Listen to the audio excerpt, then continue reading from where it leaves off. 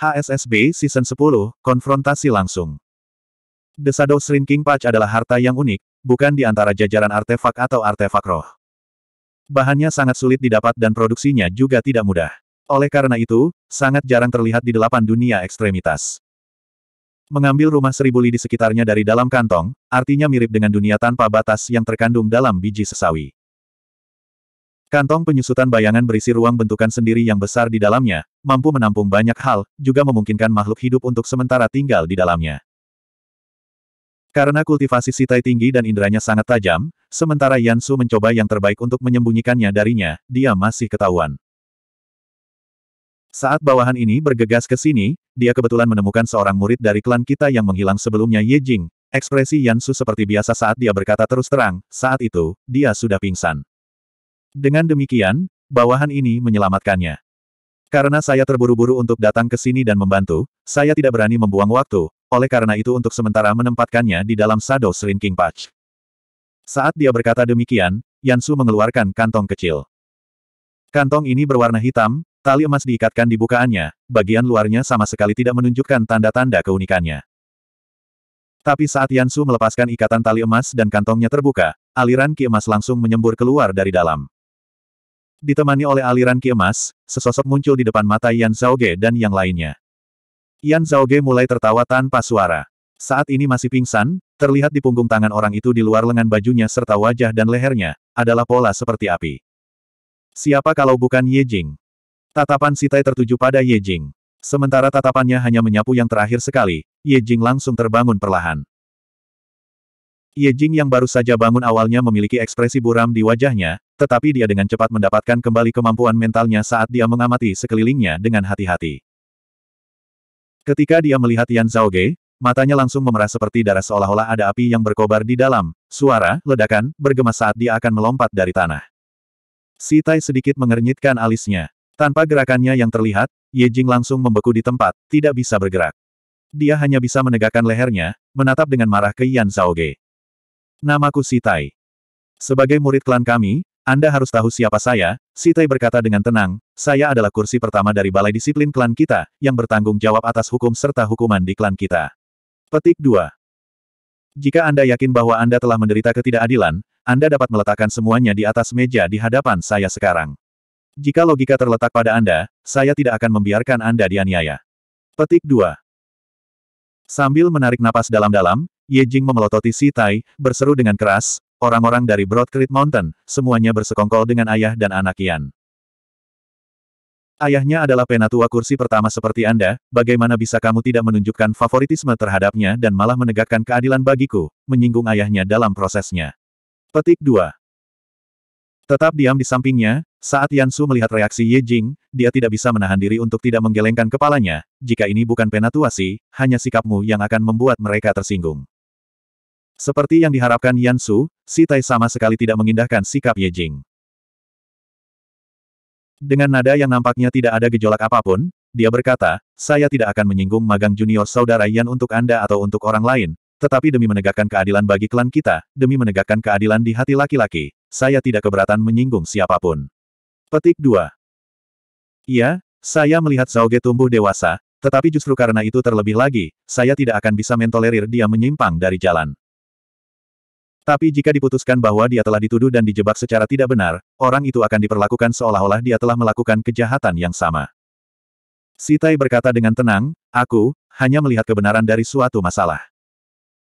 Saat dia berdiri di sana dengan tenang, auranya seberat pegunungan, sedalam laut, saat Ye Jing diintimidasi kembali ke dalam keheningan. Sementara kata-kata itu diucapkan dengan damai, masing-masing sepertinya memiliki berat seribu kilogram, memukul hati semua orang yang hadir. Ye Jing menarik napas dalam-dalam, menatap Yan Zhaoge dengan marah. Tahun itu, ketika aku masih belum masuk klan, dia datang ke Tang Timur dan mencuri kekasihku yang tumbuh bersama sejak kecil. Setelah itu, ketika saya memasuki Broad Creek Mountain, dia memandang saya sebagai duri dalam dagingnya. Sebelumnya di Siling Dragon Abyss, dia ingin membunuhku, namun tidak ingin meninggalkan jejak kesalahannya. Karena itu dia menyusun skema licik, ingin memanfaatkan orang lain untuk membunuhku, memotong rumput langsung dari akarnya. Petik 2. Gagal dalam skema pertamanya, dia menemukan skema lain, melemparkan tungku kristal internal ke abis Siling Dragon dalam upaya untuk memastikan kematianku. Saya beruntung, dan berhasil bertahan. Tapi di kolam es naga es, dia mencoba membunuhku lagi. Petik 2. Menyakiti saya berkali-kali, tidak mungkin bagi kita untuk hidup bersama di bawah langit yang sama ini. Petik 2. Yan Zhaoge berdiri dengan tenang di samping, tidak ada kebahagiaan atau kemarahan dalam tatapannya yang saat ini tertuju pada Ye Jing. Si Tai melihat ke atas, Zhaoge, apa yang ingin kamu katakan?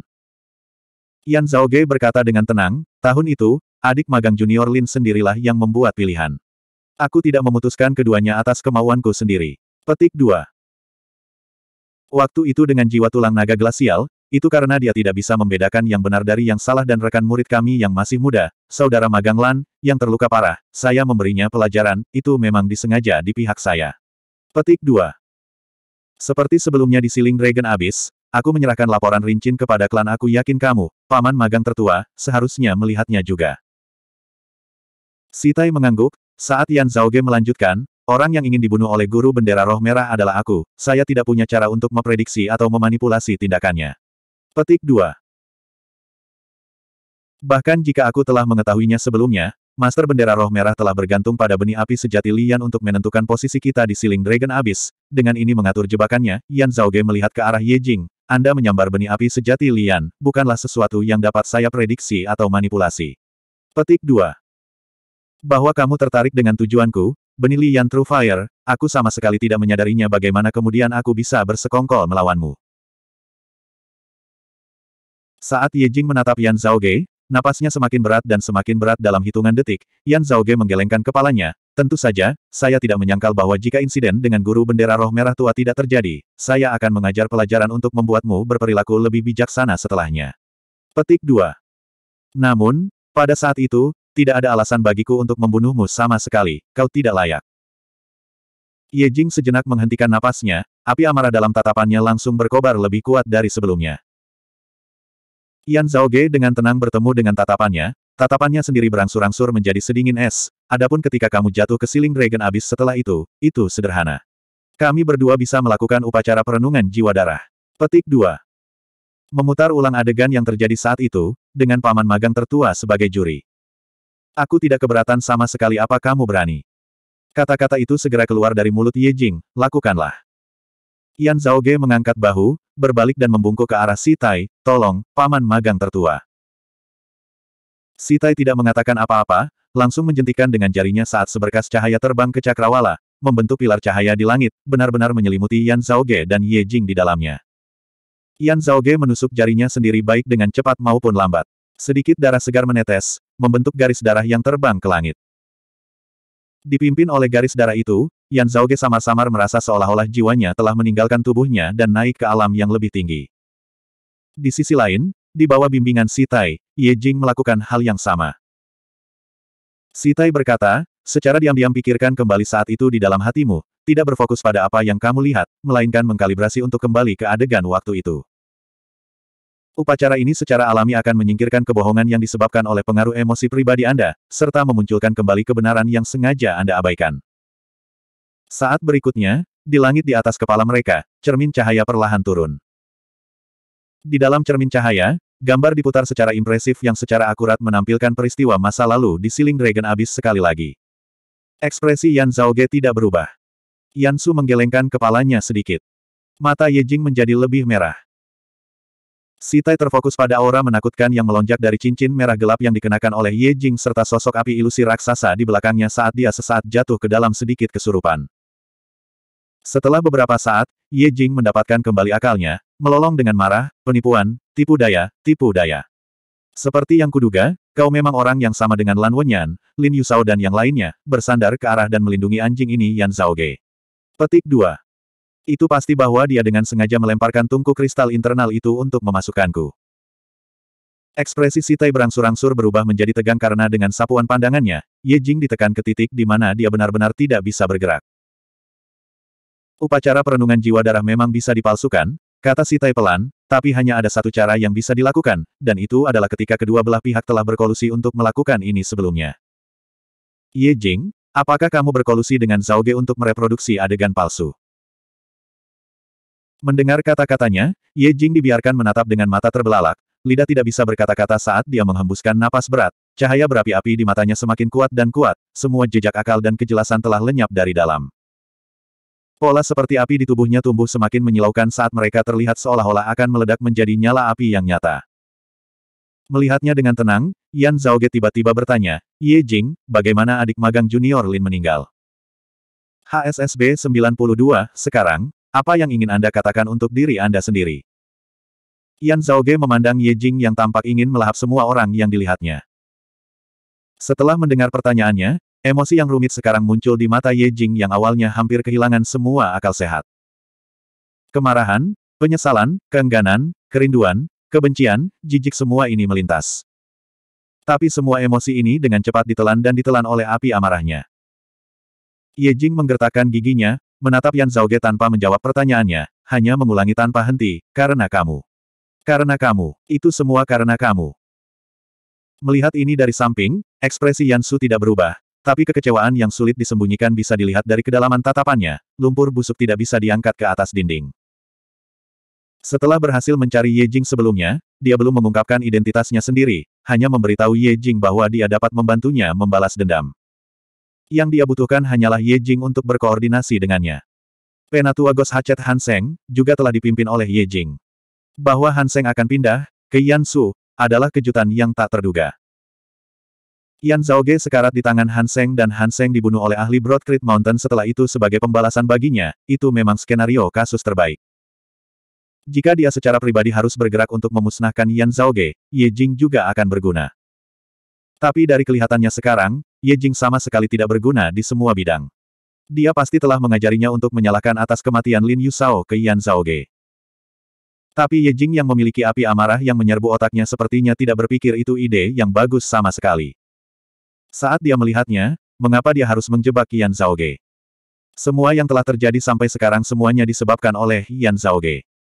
Melihat Ye Jing, Yan Su dengan kuat menggelengkan kepalanya di dalam hatinya. Orang yang kehilangan rasionalitasnya memang mudah dimanipulasi, tetapi orang seperti itu juga mudah kehilangan kendali atas emosi mereka, sehingga terjadi kecelakaan yang tidak terduga. Penatua utama Tang Timur, sekarang sangat merasakan frustrasi karena memiliki rekan satu tim babi. Melihat bagaimana Ye Jing, Si Tai juga menggelengkan kepalanya di dalam hatinya.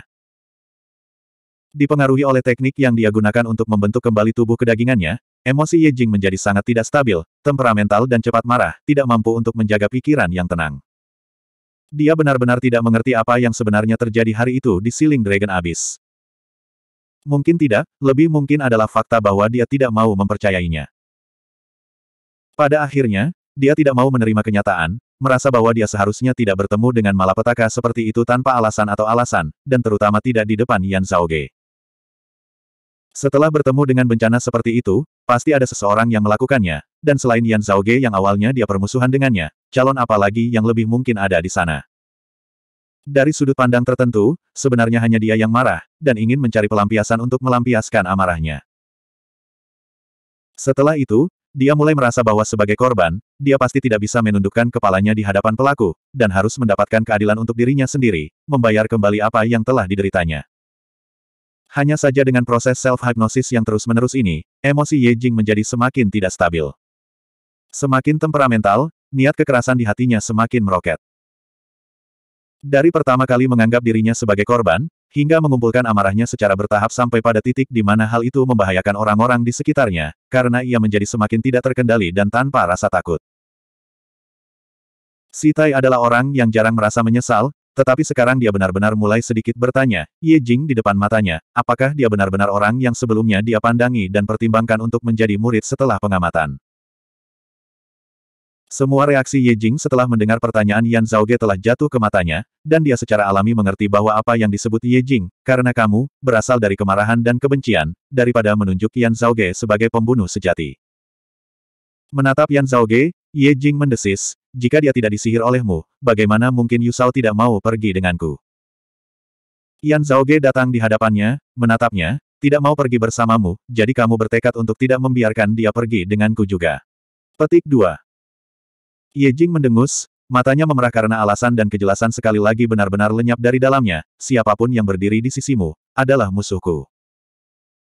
Melihatnya, nada suara Yan Zhaoge tenang namun memancarkan dingin yang menusuk tulang, bagus sekali, bersiaplah untuk membayar dengan nyawamu untuk magang adik perempuan Lin. Petik 2. Ye Jing berteriak dengan marah, kamu tidak diperbolehkan menyebut dia, jika bukan karena Anda tahun itu, semua ini tidak akan terjadi. Petik 2. Yan Zhaoge tidak memedulikannya lagi, malah melihat ke arah Yan Su, Ye Jing, tidak tahu Tusita Palem. Meskipun apa yang dia tanam saat ini sangat aneh, kekuatan api yang dikandungnya sangat berbeda dengan Tusita Palem. Penatua Yan, orang yang pertama kali menemukan mayat kakak magang-magang Lin adalah kamu. Saya ingin bertanya kepada Anda, luka pada magang junior tubuh saudari Lin yang ditinggalkan oleh Tusita Palem siapa yang menyebabkannya? Petik 2. Tatapan Sitai juga mengarah pada Yan Su. Dengan tatapan Yan Zhaoge dan Sitai padanya, Yan Su terdiam sesaat sebelum dia mengangkat kelopak matanya, tatapannya tenang, itu orang tua ini. Dia berkata perlahan, dengan persaingan antara Penatua Yan dan Penatua Fang yang semakin ketat dari hari ke hari, orang tua ini untuk sesaat disihir oleh iblis, berniat untuk memukul Penatua Yan melalui Yan Zhaoge. Jika Yan Zhaoge dinyatakan bersalah atas kejahatan tersebut, apalagi fakta bahwa dia akan kehilangan muka, Penatua Yan juga akan mendapatkan reputasi sebagai ayah yang tidak kompeten. Dan orang seperti itu bagaimana dia bisa menggantikan posisi kepala klan? Yan Su dengan tenang berbisik, jadi, Kepala klan tua, Anda, tetua Si, serta ahli penting lainnya dari klan kami, kesan Anda tentang ayah dan anak yang semuanya akan turun drastis sebagai hasilnya. Jalan Elder Fang menuju kekuasaan akan menjadi jauh lebih mulus. Sebagai imbalan untuk itu di masa depan, orang tua ini juga akan menerima banyak keuntungan. Ini didorong oleh keserakahan, dosa pertamaku. Selain itu, sebagai junior belaka, Yan Zhaoge melawan lelaki tua ini berkali-kali, menyebabkan lelaki tua ini memegangi perut yang penuh kebencian, merasa tidak nyaman jika aku tidak bisa melampiaskannya. Oleh karena itu, saya sengaja ingin mempersulit dia, untuk memberinya pelajaran. Petik 2. Ini dipicu oleh amarah dosa kedua saya. Nada suara Yansu tenang dan tanpa fluktuasi, saat menjadi kepala sekolah, orang tua ini telah melakukan begitu banyak dosa besar. Saya bersedia untuk mengundurkan diri dari jabatan saya dan pergi ke balai disiplin untuk menerima hukuman saya. Petik 2. Apa pun hukuman yang diberikan klan kepadaku, lelaki tua ini juga tidak akan keberatan. Dengan Broadcreek Mountain kami saat ini sedang bertarung dengan klan Sun Suci, wajah lelaki tua ini juga tidak cukup tebal untuk terus bertahan di Tang Timur. Saya memohon untuk pergi ke garis depan di mana wilayah surga selatan dan domain api sedang bertempur, untuk bertarung habis-habisan dengan musuh kita. Petik 2. Jika kehidupan lama ini dibuang di sana, itu bisa dianggap telah menebus dosa-dosa kali ini. Saya berharap Penatuasi mengizinkan saya melakukan ini. Petik 2. Si Tai menatapnya diam-diam, tidak setuju atau menolak, tidak mengucapkan sepatah kata pun. Melihat Yan Su, Yan Zhaoge bertanya, Penatua Yan, apakah hanya itu? Yan Su berkata dengan lembut, mengakui kesalahan saya di depan junior sepertimu, kulit di wajah tua lelaki tua ini telah terkelupas seluruhnya. Apalagi yang harus disembunyikan? Petik 2. Yan Zhaoge terkekeh, meskipun tatapannya sedikit dingin, Keahlian Penatua Yan dalam meraih yang besar dan melepaskan yang kecil adalah sesuatu yang sangat berharga untuk saya pelajari. Namun, saya ingin bertanya kepada Anda bagaimana gerakan diri saya bersama dengan Penatua Su dan yang lainnya bisa dipahami oleh klan Matahari Suci. Ekspresi Yan Su tidak berubah, orang tua ini juga sangat ingin tahu tentang itu. Dia memandang Yan Zhaoge, Apakah Anda mengisyaratkan bahwa orang tua ini sengaja membocorkan informasi kepada klan Sun Suci, mencoba membunuh dengan pisau pinjaman dan menghukum mati Anda? Orang tua ini mengakui bahwa dalam masalah Anda, saya memang menunjukkan sedikit kesabaran. Namun, itu masih belum sampai pada tingkat menginginkan nyawa Anda lelaki tua ini tidak punya alasan untuk berharap Anda mati. Petik 2. Adapun lelaki tua yang muncul di sini, saya sudah mengatakan bahwa itu karena saya bergegas untuk membantu. Yan Su memandang Yan Zhaoge, Anda mengatakan bahwa orang tua ini ingin mengambil nyawamu, itu sebenarnya adalah, jika Anda ingin mengutuk seseorang, selalu ada tuntutan yang bisa didapat. Petik 2. Yan Zhaoge mencibir, yang benar adalah, bukti tidak terbantahkan, itu tidak dapat disangkal. Petik 1 Petik 2. Melihat Yan Su, Si Tai perlahan menggelengkan kepalanya, Elder Yan, melihatku muncul di sini, apakah kamu masih berpegang pada harapan? Ekspresi Yan Su tidak berubah, tapi hatinya tenggelam. Si Tai juga tidak mengatakan apa-apa lebih jauh, hanya membawa mereka semua menembus awan saat dia terbang. Dengan sangat cepat, mereka tiba di sebuah rumah bangsawan. Melihat manor ini, wajah Yan Su langsung meredup sedikit. Di luar manor, berdiri seorang lelaki tua yang sehat dan sehat. Justru elder disiplin dari wilayah surga timur yang telah mengunjungi Tang Timur untuk Yan Zhaoge setengah tahun yang lalu. Penatua disiplin membungkuk ke arah Si Tai, kursi pertama. Ketika kami tiba di sini, mereka sedang dalam proses membungkam mulut. Dua orang tidak bisa diselamatkan. Petik 2. Namun, yang lainnya semuanya sudah berada di bawah kendali kita. Setelah interogasi utama kami, itu sudah cukup untuk mendakwa Yansu berkolusi dengan klan Matahari Suci dan mengungkap pergerakan murid klan kami. Petik 2. Tai mendarat, menoleh untuk melihat Yansu, sekarang, apa yang harus kamu katakan untuk dirimu sendiri? HSSB 93, buang air kotor ya bisa. Yansu secara alami tidak bisa menghubungi klan Matahari Suci sendiri. Jika tidak, dia akan membuat klan Matahari Suci menguasai dirinya sendiri. Lalu bagaimana dia bisa bertahan di Broad Creek Mountain di masa depan? Tetap saja, menjadi Martial Grandmaster itu sendiri sudah merupakan pengaruh terbesar Yansu. Setelah menjadi penatua kepala sekolah, dia juga memahami cukup banyak informasi. Tapi kecuali benar-benar tidak ada pilihan lain, Yansu pasti tidak akan berpikir untuk mengkhianati klannya sendiri dan mencari suaka di klan Matahari Suci. Fondasi yang telah dia bangun akan benar-benar hilang, dan semua sumber daya serta koneksinya harus dibangun dari awal sekali lagi. Tiba di klan Sun Suci sebagai seseorang yang telah masuk dari luar, bahkan jika pihak lain, yang memprioritaskan bakat yang baik, memperlakukannya dengan baik, tidak akan ada harapan baginya untuk benar-benar memasuki lingkaran inti mereka. Jadi, dalam mengirimkan informasi ke klan Matahari Suci, Yansu telah melalui beberapa langkah untuk mencegah identitasnya ditemukan. Bahkan klan Matahari Suci yang telah menerima informasinya akan kesulitan untuk melacaknya kembali padanya.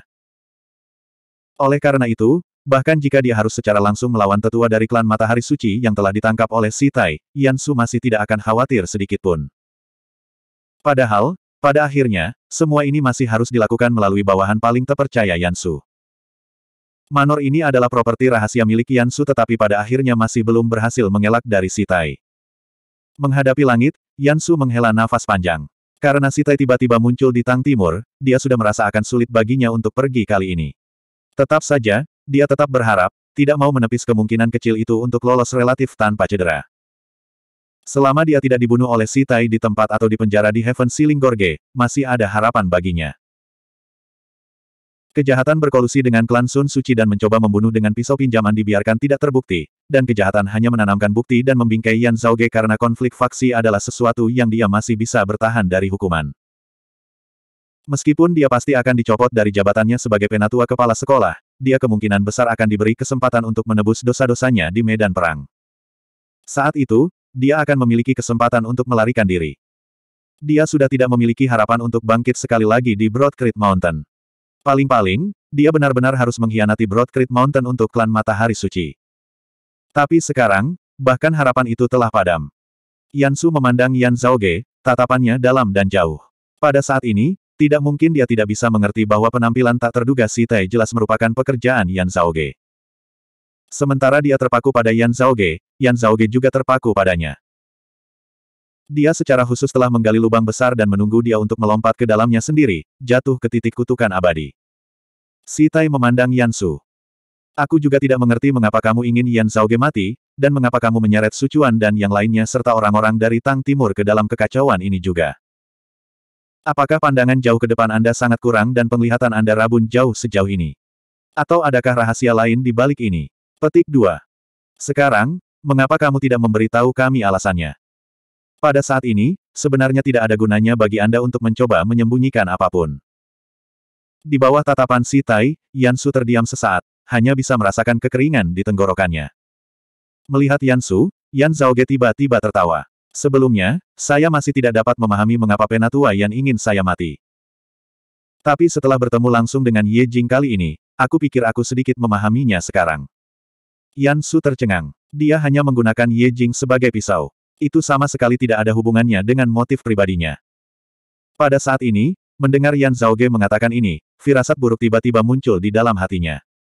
Ye Jing juga dibawa oleh Si Tai. Selama periode waktu ini, dia telah ditekan oleh Si Tai, tidak bisa bergerak atau mengucapkan sepatah kata pun. Dia hanya bisa menatap dengan penuh kebencian dan kesal pada mereka di Broad Creek Mountain. Pada saat ini, dia masih merasa sangat terkejut mendengar bahwa dia ada hubungannya dengan Yansu. Meskipun dia tidak berpikiran jernih, tatapannya tanpa sadar jatuh pada Yansu. Si Tai juga terkejut. Si Tai secara alami memendam keraguan tentang kesaksian Yansu yang secara tidak sengaja datang oleh Ye Jing yang tidak sadarkan diri di pinggir jalan.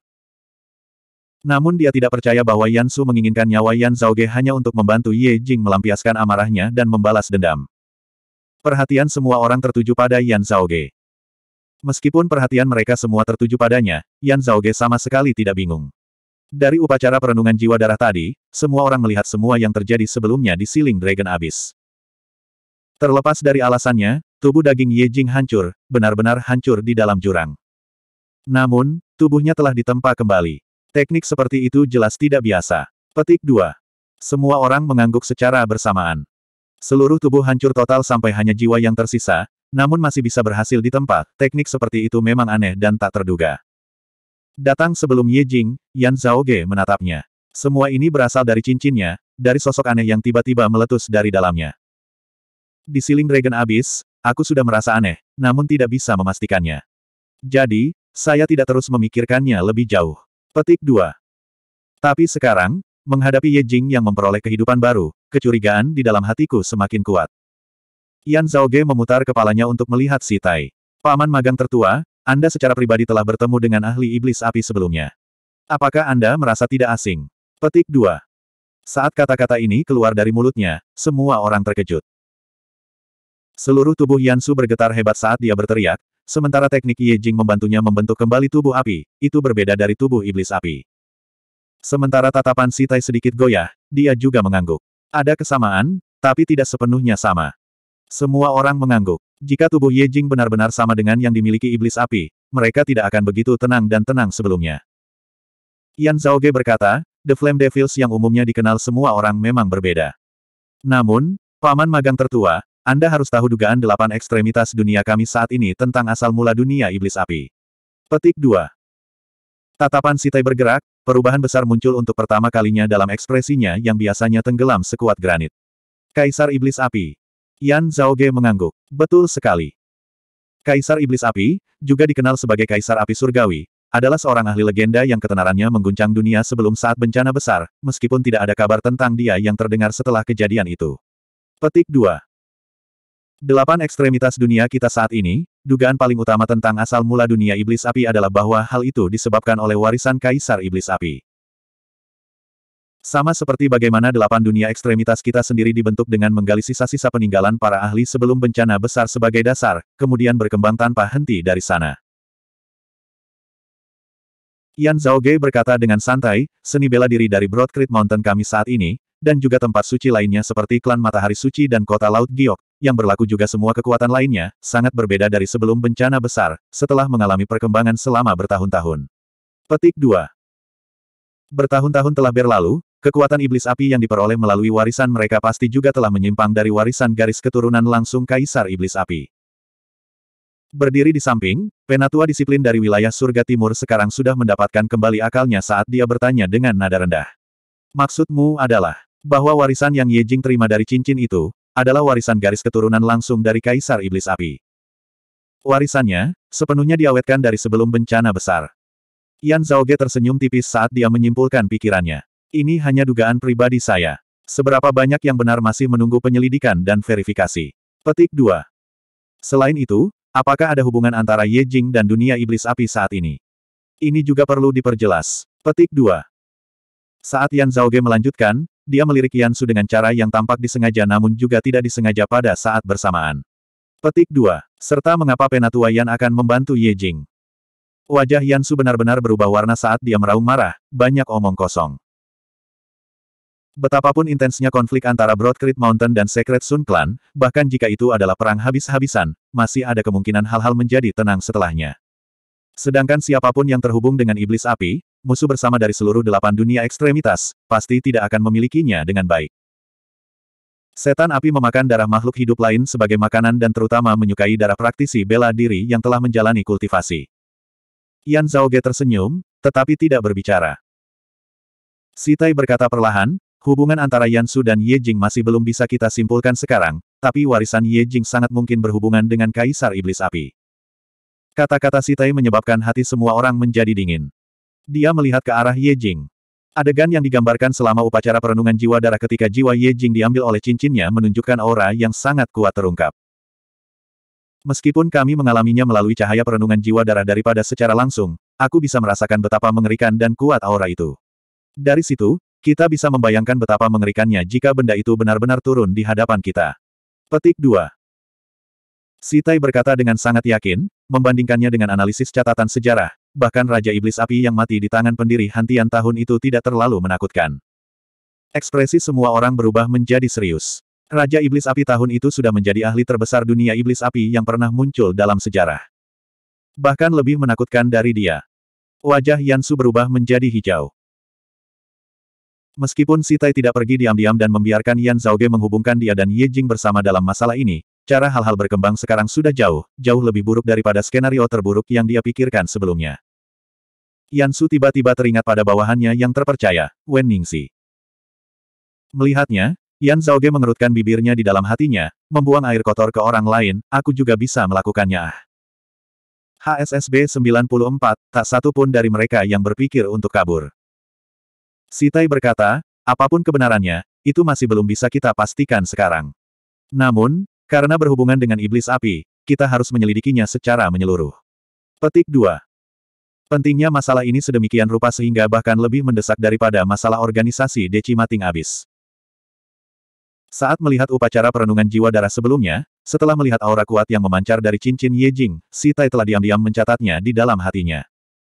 Hanya saja dia adalah seseorang yang tidak langsung mengambil kesimpulan. Oleh karena itu, dia hanya mengubur pertanyaan-pertanyaan ini di dalam hatinya. Meskipun kelainan di neraka adalah sesuatu yang setiap orang harus waspadai, pada akhirnya, bahaya yang ditimbulkannya masih tidak terlalu signifikan. Iblis api, bagaimanapun, adalah musuh lama delapan ekstremitas dunia, keduanya telah bentrok tanpa henti selama bertahun-tahun, tidak memberikan satu inci pun kepada yang lain. Jika Ye Jing hanya mendapatkan warisan Kaisar Iblis Api secara kebetulan, itu akan baik-baik saja. Jika dia memiliki koneksi dengan dunia Iblis Api saat ini, itu akan menjadi masalah yang sangat serius. Sementara Sitai masih belum sepenuhnya membuat masalah ini meyakinkan, kepentingannya di dalam hatinya tidak diragukan lagi telah meningkat pesat. Wajahnya hitam seperti dasar pot, Yansu mengeluarkan beberapa kata dari celah di antara giginya. Tentang ini, orang tua ini sama sekali tidak tahu. Yan Zhaoge berkata tidak terburu-buru atau lambat, maka saya benar-benar tidak dapat memikirkan alasan lain mengapa penatua yang sangat menginginkan saya mati. Yansu mendengus, ekspresi rumit muncul di wajahnya. Semua orang saat ini fokus pada Ye Jing, menilai dia secara menyeluruh. Namun, pada saat ini, Ye Jing benar-benar bingung. Dia yang marah dan temperamental, saat ini menjadi fokus tatapan semua orang, secara alami memiliki perasaan yang sangat tidak nyaman di dalam dirinya. Pemahamannya terhadap situasi seluruh dunia ini masih terbatas. Namun, dia secara alami masih akrab dengan keberadaan seperti apa iblis api itu. Pada saat ini, mendengar dirinya benar-benar disatukan dengan mereka, dia langsung terkejut dan marah. Saat dia melihat ke atas, Yan Zhaoge melihat pola api di seluruh tubuh Ye Jing menjadi semakin menyilaukan, seolah-olah seluruh tubuhnya benar-benar akan terbakar secara spontan. Ye Jing melolong dengan marah, Yan Zhaoge. Setelah berakhir di tanganmu, apa pun yang ingin kamu lakukan padaku, jika kamu ingin membunuhku atau memotongku, lakukan saja jika kamu pikir kamu bisa. Petik 2. Untuk menempatkan dirimu di sisi nalar, kamu masih ingin terus membuat tuduhan tentang aku. Kamu, anjing ini yang memutar balikkan fakta. Petik 2. Yan Zhaoge berkata sembarangan, kamu juga sudah mengatakan bahwa kamu saat ini adalah ikan di dalam jaring, kura-kura di dalam kendi. Jika aku menjagamu, itu juga karena kamu pantas mendapatkannya. Petik 2. Mengapa saya masih perlu membuat tuduhan tentang Anda? Mungkin Anda sendiri tidak menyadarinya, tetapi verifikasi tidak akan sulit. Setelah membawamu kembali ke klan, lalu para ahli kami akan menganalisis cincin milikmu itu, sebuah kesimpulan akan dibuat secara alami. Petik 2. Yan Zhaoge menatap Ye Jing dengan tenang, jangan terlalu menganggap dirimu terlalu tinggi. Ada banyak hal yang harus saya lakukan, aku tidak punya waktu sama sekali untuk disia-siakan untukmu. Petik 2. Ye Jing bahkan lebih marah dengan ini, pola api di tubuhnya mempesona dengan kecerahan yang belum pernah terjadi sebelumnya. Segera, api yang sebenarnya mulai berkobar. Ye Jing di dalam api mengamati sekelilingnya, memelototi Yan Zhaoge, Si Tai, elder disiplin dari wilayah surga timur dan yang lainnya. Seperti yang kuduga, orang-orang Broad Creek Mountain semuanya bersekongkol, saling menutupi. Hati orang-orang itu jahat dan berbahaya, membunuh orang lain tanpa mengambil darah, tidak menyemburkan tulang karena memangsa orang lain kamu bahkan lebih ganas dan jahat daripada iblis api. Berada di tim yang sama dengan orang-orang seperti Anda, aku lebih suka menjadi sesederhana para iblis api. Petik 2. Menghadapi langit, Ye Jing meraung gila. Di tangannya, di bawah daging dan darahnya, cahaya merah muncul, membentuk lingkaran cahaya merah tua yang menempatkan dirinya di jarinya. Justru cincin merah tua itu. Cincin itu meledak dengan cahaya yang menyilaukan, pemandangan ilusi yang samar-samar diproyeksikan ke udara di belakangnya. Dalam ilusi itu, seluruh tanah tertutup lava, seluruh langit dilalap api. Seolah-olah raksasa api yang menakutkan telah muncul di dalamnya. Itu adalah aura yang kuat yang jauh dari apa yang bisa dimiliki Ye Jing pada levelnya saat ini. Terkadang terlihat, terkadang tak terlihat, mengejutkan hati orang-orang. Melihat ini, Yan Zhaoge malah memutar matanya, otakmu pasti benar-benar digoreng oleh panas. Itu berbeda dari sosok ilusi yang mereka lihat melalui upacara perenungan jiwa darah sebelumnya. Pada saat ini, mereka semua melihatnya secara nyata. Melihat Ye Jing saat ini dan merasakan kekuatan yang dipegang oleh sosok ilusi itu, Para penonton di samping, termasuk Yan Su, semua mulai percaya pada dugaan awal Yan Zhaoge. Melihat cincin merah tua pada sosok Ye Jing, Yan Su berpikir, jadi cincin itu telah menyatu di dalam tubuhnya, tidak heran kami tidak dapat mendeteksinya selama ini. Petik 2. Si Tai berkata tanpa ekspresi, pada dasarnya, itu mungkin yang terkuat yang pernah dilihat si ini dalam hidupku, bahkan memusnahkan seluruh delapan dunia ekstremitas mungkin hal yang sederhana untuk itu. Petik 2. Namun, itu bahkan tidak dapat dianggap sebagai bagian yang tersisa dari jiwa atau bahkan beberapa sisa keinginan, hanya sebagian orangnya yang tersisa.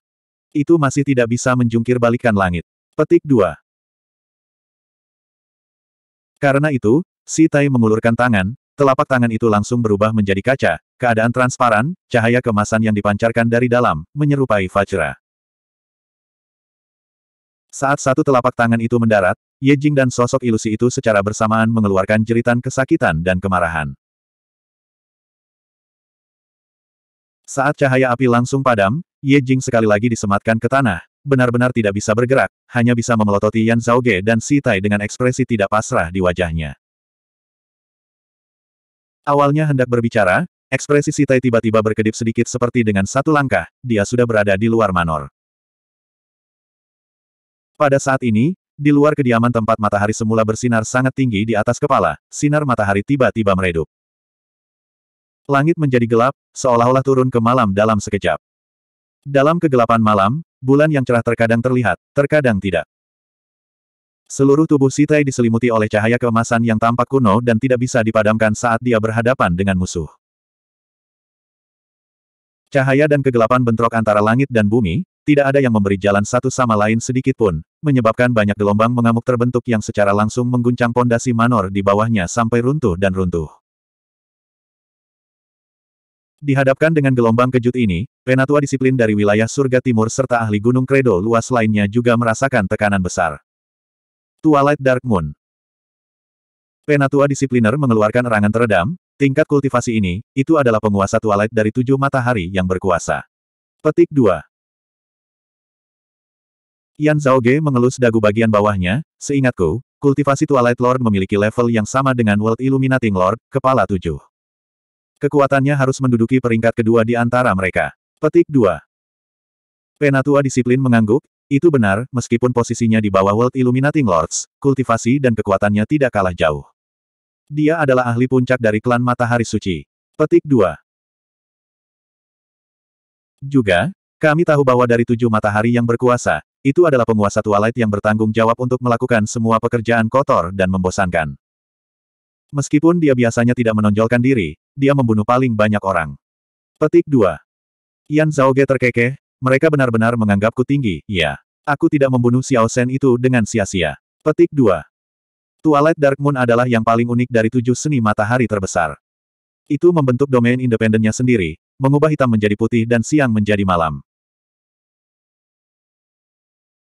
Berfluktuasi antara nyata dan ilusi, beralih antara matahari dan bulan, sesuatu yang berada di antara teknik ilusi dan tinju, berbeda dari semua seni bela diri klan matahari suci lainnya.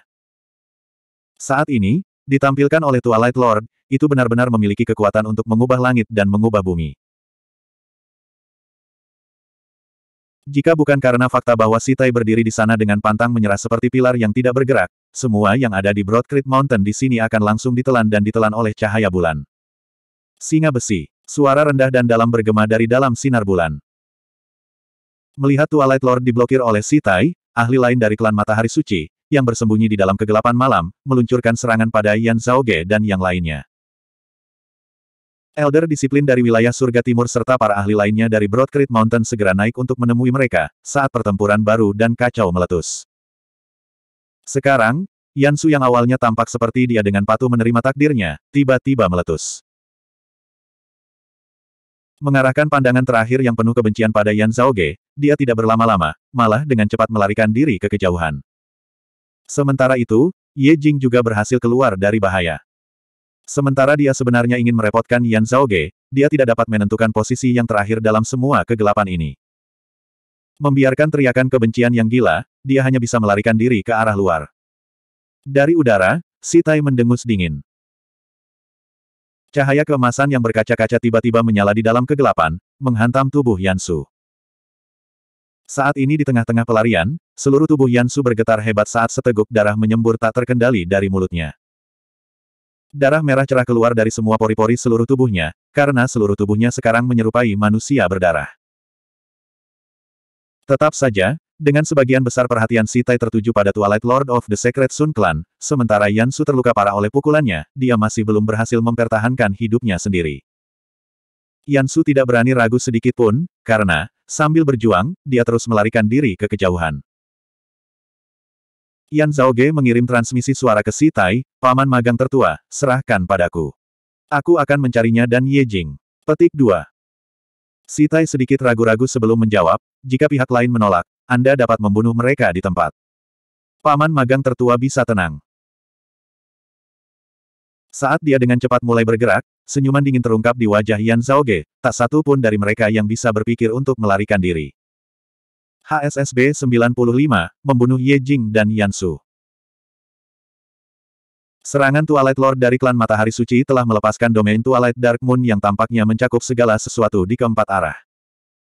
Setiap orang dalam domain ini akan menemukan diri mereka dipengaruhi oleh Ki Twilight Dark Moon. Namun, Si Tai juga tidak penurut. Menghadapi lawan yang begitu tangguh, Twilight Lord dipaksa untuk mengerahkan semua kekuatannya ke dalam pertarungan tanpa bisa menyisihkan pikiran untuk masalah lain di medan perang. Karena alasan ini, praktisi bela diri Broadcreek Mountain di domain senja hanya sedikit terganggu olehnya. Itu berfungsi untuk menghalangi penglihatan mereka, tetapi tidak dapat melukai mereka secara fisik. Bagi Yan Zhaoge, yang bisa dia lihat ke segala arah hanyalah bidang yang gelap gulita. Namun, Yan Su juga berada dalam situasi yang mengerikan. Setelah menerima serangan Si Tai, cahaya kemasan telah meresap ke tubuhnya, terus memperburuk luka-lukanya. Yan Su tidak memiliki kekuatan untuk mengeluarkan energi asing dari tubuhnya, sejauh ki emas dari tubuh Fajra Si Tai menyebabkan auranya ki menjadi hampir tidak efektif. Ki emas terus beredar melalui tubuh Yan Su dan memancar keluar melalui titik kinya, membuat tubuhnya bersinar dengan warna emas yang cemerlang. Cahaya ini seperti sinyal suar untuk Yan Zhaoge. Sejauh Ye Jing pergi, dia melarikan diri dengan kekuatan penuh. Namun, kondisinya saat ini sedemikian rupa sehingga dia menjadi merah menyala seperti api unggun, membuatnya sangat menarik perhatian dalam domain Twilight Dark Moon. Keduanya seperti kunang-kunang di malam yang gelap. Faktanya, mereka begitu mencolok sehingga sulit bagi orang lain untuk tidak menyadari keberadaan mereka. Secara kebetulan, kebetulan keduanya melarikan diri ke arah yang sama. Perkembangan ini berarti Yan Zhaoge dan Ah Hu tidak perlu berpisah dan bisa terus mengejar keduanya bersama. Kultivasi asli Yan Su adalah Martial Grandmaster, yang berarti kecepatannya harus sangat cepat, melintasi ribuan kilometer dengan satu pikiran. Namun, dia telah terluka begitu parah oleh Si Tai, sampai dia hampir mati di tempat, sehingga kecepatannya turun drastis di bawah kecepatan Martial Grandmaster. Di bawah pengaruh lukanya yang semakin parah, semakin jauh dia berlari, semakin lambat kecepatannya. Keduanya terus melarikan diri sampai mereka akhirnya keluar dari domain Twilight Dark Moon. Sangat gembira memikirkan pelariannya, mata Yansu berbinar saat dia mulai pulih dari luka-lukanya.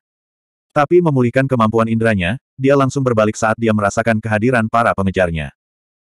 Yan Zhaoge dan Ahu memang mengejarnya ke sini, dan jaraknya tidak jauh.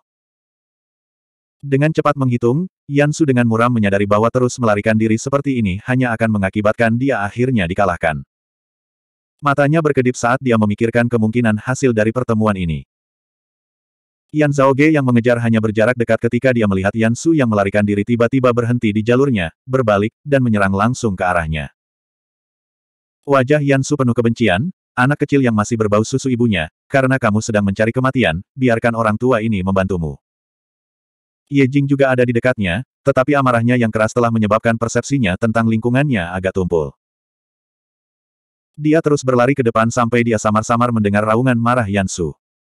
Saat itulah dia berbalik dan menyadari bahwa Yan Zhaoge sudah menyusul. Begitu Ye Jing melihat Yan Zhaoge, pupilnya memerah dan semuanya memudar dari penglihatannya sampai hanya Yan Zhaoge yang dia benci sampai inti yang tersisa. Dengan lolongan penuh kebencian, Ye Jing berhenti, berbalik, dan melemparkan dirinya ke arah Yan Zhaoge. Yan Zhaoge menatap lurus ke arah Yan Su yang akan datang. Tanpa mengkhianati kepanikan apa pun, dia mengembangkan lengan bajunya, menyebabkan cahaya berwarna giok terbang keluar. Memancarkan raungan naga, pedang naga giok terbang untuk menemui Yansu. Luka Ahu belum sepenuhnya pulih, tapi dia juga secara bersamaan melancarkan serangan bersama dengan Yan Zhaoge untuk mencegat Yansu dan Ye Jing yang mendekat. Yansu tertawa dingin, di levelmu saja, kamu berani mengejar orang tua ini. Yan Zhaoge, jalanmu akhir-akhir ini terlalu mulus. Anda benar-benar tidak dapat melihat luasnya langit dan luasnya bumi lagi. Petik 2. Saat dia berbicara, Yansu menjentikan dengan telapak tangannya, sebuah cahaya muncul di dalam. Sebuah cahaya biru menyala saat pedang pendek tersembunyi muncul yang ditembakkan ke depan untuk berbenturan dengan pedang naga giok, memaksanya mundur. Pedang pendek itu dipenuhi dengan ki spiritual, karena hampir terlihat seperti bersinar. Melepaskan suara yang menyerupai teriakan burung, seolah-olah memiliki kehidupannya sendiri. Ini sebenarnya adalah artefak spiritual kelas menengah. Yansu memusatkan pandangannya pada Yan Zhaoge, matanya penuh dengan niat membunuh, dengan temperamen Anda yang tidak enak dan pola pikir arogan, tahukah Anda mengapa Anda bisa bertahan sampai sekarang?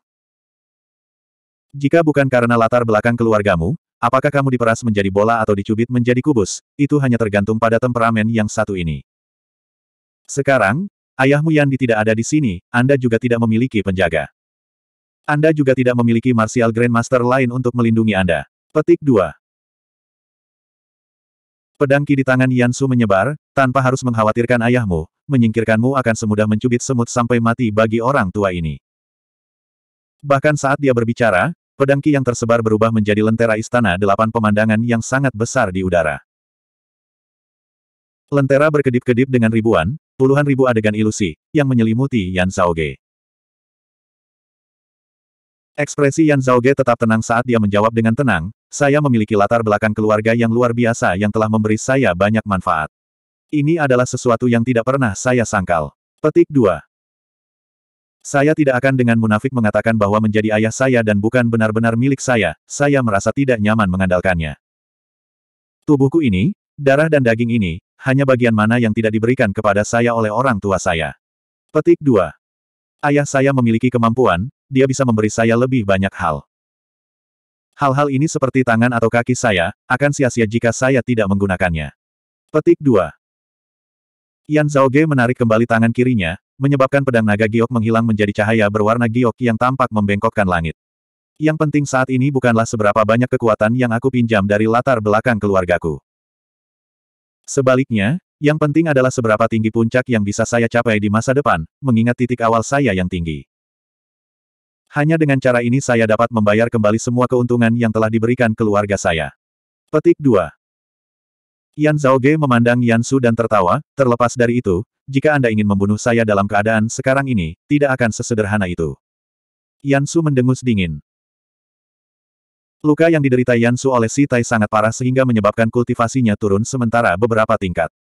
Lebih buruk lagi adalah fakta artefak spiritual kelas menengahnya, Hidden Clear Sunlight Sword, tidak lagi dapat menunjukkan kekuatan penuhnya. Bukan hanya dia yang mengalami kerusakan. Bilah dari Hidden Clear Sunlight Sword-nya dihiasi dengan banyak retakan, menyebabkan cahaya pedang yang mengorbit tampak agak kurang. Kerusakannya begitu parah sehingga hampir tidak dapat bersaing dengan artefak spiritual tingkat rendah Yan Zhaoge, pedang naga giok. Yansu tanpa daya mengetahui bahwa karena luka-lukanya, dia tidak dapat mengamankan keunggulan atas lawannya dalam waktu singkat. Yan Zhaoge dan Ahu menggunakan taktik pertempuran yang fleksibel untuk secara perlahan mengalahkan lawan mereka. Saat pertarungan berlanjut, Yansu menemukan bahwa luka-lukanya semakin mempengaruhi kekuatannya.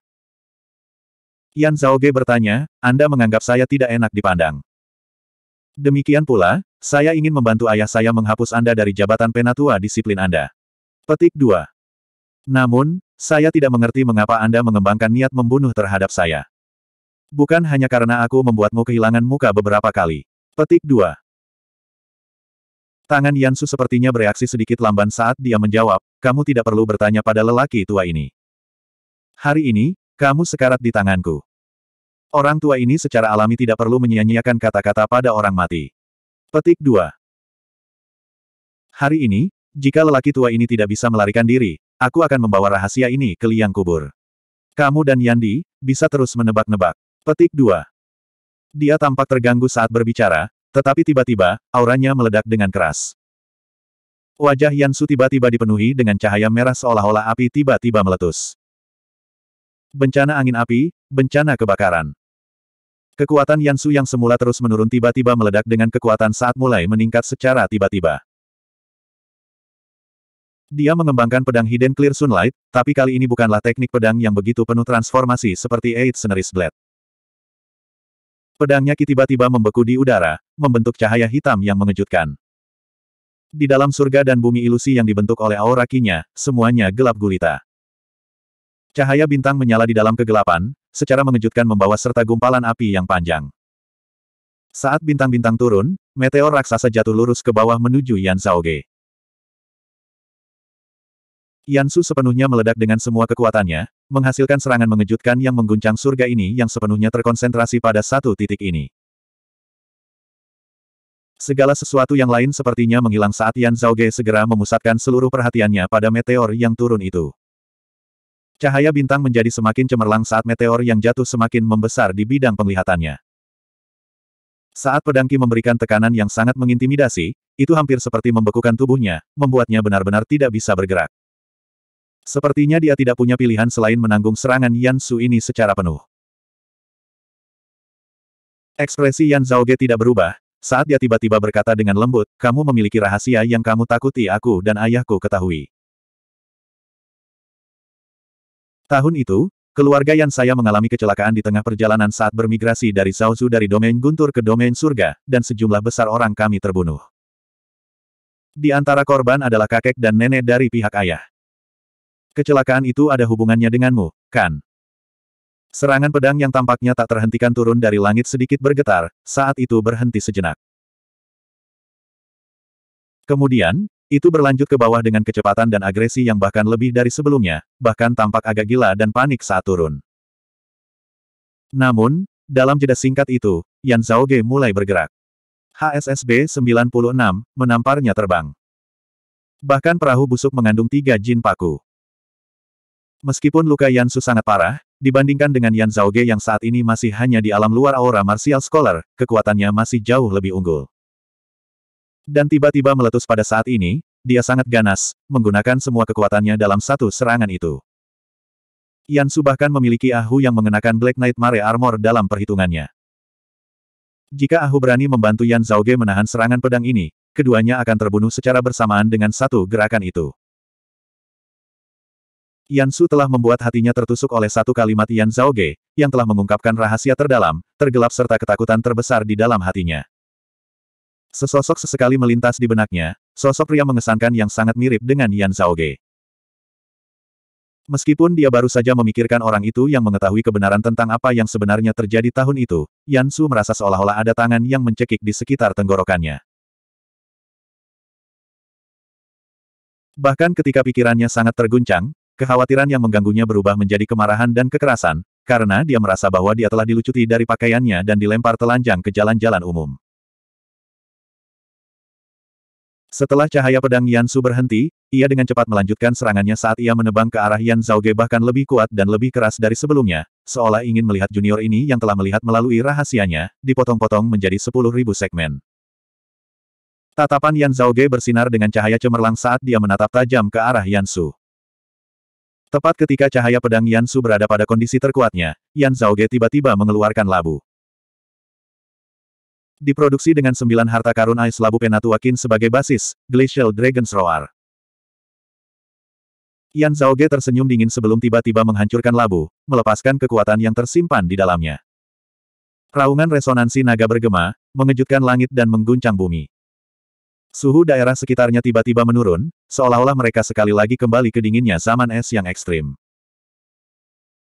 Saat kabut putih menyelimuti area itu, partikel es dan salju yang tak terhitung jumlahnya dengan cepat mulai menggumpal tepat di depan mata Yan Zhaoge, benar-benar bersatu untuk membentuk naga glasial besar. Naga glasial meraung, melonjak ke langit, suaranya menembus awan, melampaui sembilan langit. Mengendarai angin dan awan, menaiki matahari dan bulan, dewa menatap ke alam fana, meraung dengan arogan ke sembilan langit sekarang, itu adalah naga sejati. Naga glasial melonjak, menembak langsung ke langit, menampilkan kekuatan sebenarnya dari naga tersembunyi dalam kemuliaan penuhnya saat mencegat pedang meteor Yansu. Saat kedua sisi bertabrakan di udara, cahaya pedang menakutkan yang menyerupai meteor yang jatuh ke bumi, langsung hancur. Naga glasial juga hancur di udara, berubah menjadi embun beku yang memenuhi seluruh langit, turun untuk menyelimuti sejumlah besar tanah di sekitarnya ke segala arah, benar-benar mengubah dunia di depan mata mereka menjadi dunia es dan salju. Sosok Yansu muncul kembali di hadapan mereka, saat embun beku berkumpul, langsung membeku dan menyegelnya di udara. Saat es dan salju bercampur, sosok Ye Jing yang ingin bergegas menuju Yan Zhaoge, baru saja diserang dan dihalangi oleh Ah Hu, juga melambat. Api merah di tubuhnya juga untuk sementara padam karena seluruh tubuhnya diselimuti oleh lapisan es, menyebabkan dia menyerupai orang es. Cincin merah gelap di jarinya, yang juga telah ditekan oleh si Tai sebelumnya, sekarang redup dan berhenti memancarkan cahaya, menyatu dengan daging dan darahnya sekali lagi. Raungan naga glasial yang dihasilkan Yan Zhaoge dengan sebagian dari jiwa tulang naga glasial telah meletus dengan ki es yang membekukan senilai lautan dalam sekejap itu. Bahkan jika itu adalah Martial Grandmaster, mereka juga akan membeku sesaat. The Hidden Clear Sunlight Sword di tangan Yansu, dikelilingi oleh salju dan es di udara, berkedip dengan cahaya redup. Sword Ki yang mengesankan melonjak, berulang kali mencoba untuk keluar dari semua es dan salju saat Yansu yang kaku terlalu lambat menggerakkan anggota tubuhnya sendiri, mencoba untuk membebaskan diri. Namun, Ahu sekarang muncul di hadapannya, menyeringai. Mengangkat tangannya, sebuah silinder muncul di dalamnya. Salah satu ujungnya digenggam di tangan Ahu, sementara ujung lainnya diarahkan langsung ke Yansu. Bola mata Yansu hampir keluar dari rongganya, karena hal berikutnya yang dia tahu, seluruh bidang penglihatannya dipenuhi dengan cahaya keemasan yang menyelimuti semua. Seperti sinar matahari yang bersinar, sementara juga seperti hujan badai yang deras. Tidak bisa bergerak, apalagi menghindar, Yansu bahkan tidak bisa bergerak untuk memblokir pukulan itu. Dia hanya bisa membuka matanya lebar-lebar saat dia menahan dampak penuh dari hujan matahari. Sebuah serak, marah, Melolong bergema saat Divine Sun Needles menerobos pertahanan aura Qi Yansu, langsung mengoyak seluruh tubuhnya. Beberapa dari Divine Sun Needles tenggelam jauh di dalam tubuh Yansu sementara yang lain hanya setengah menembus, karena diterangi oleh cahaya kemasan yang menyilaukan, Yansu sekarang menyerupai landak. Saat jarum matahari surgawi memasuki tubuhnya, luka yang selama ini berusaha sangat keras untuk ditekan oleh Yansu sekarang meletus sepenuhnya. Yansu melolong menyedihkan ke arah langit saat kabut darah meletus dari tubuhnya, seluruh tubuhnya penuh dengan ribuan luka dan ratusan lubang, daging dan darahnya tidak jelas dan hancur. Hujan es dan hujan darah secara bersamaan turun dari udara. Kalian berdua binatang buas. Yansu memaki-maki, namun dihentikan karena darah segar terus-menerus melonjak ke tenggorokannya, tumpah tanpa henti. Yan Zhaoge datang ke hadapan Yansu, menatapnya dengan tenang, sepertinya masalah tahun itu benar-benar ada hubungannya denganmu. Cabang keluarga Yan tempatku berada tidak disukai oleh cabang utama keluarga Yan, di rumah leluhur kami, Zhao Su. Meskipun apa yang terjadi pada tahun itu tampak seperti kecelakaan, kemungkinan besar itu terkait dengan mereka. Petik 2. Melihatmu takut sejauh ini, pasti itu bukan kegagalan yang tidak disengaja di pihakmu tahun itu. Sebaliknya, Anda harus terhubung dengan keluarga Zhao Zuyan. Petik 2.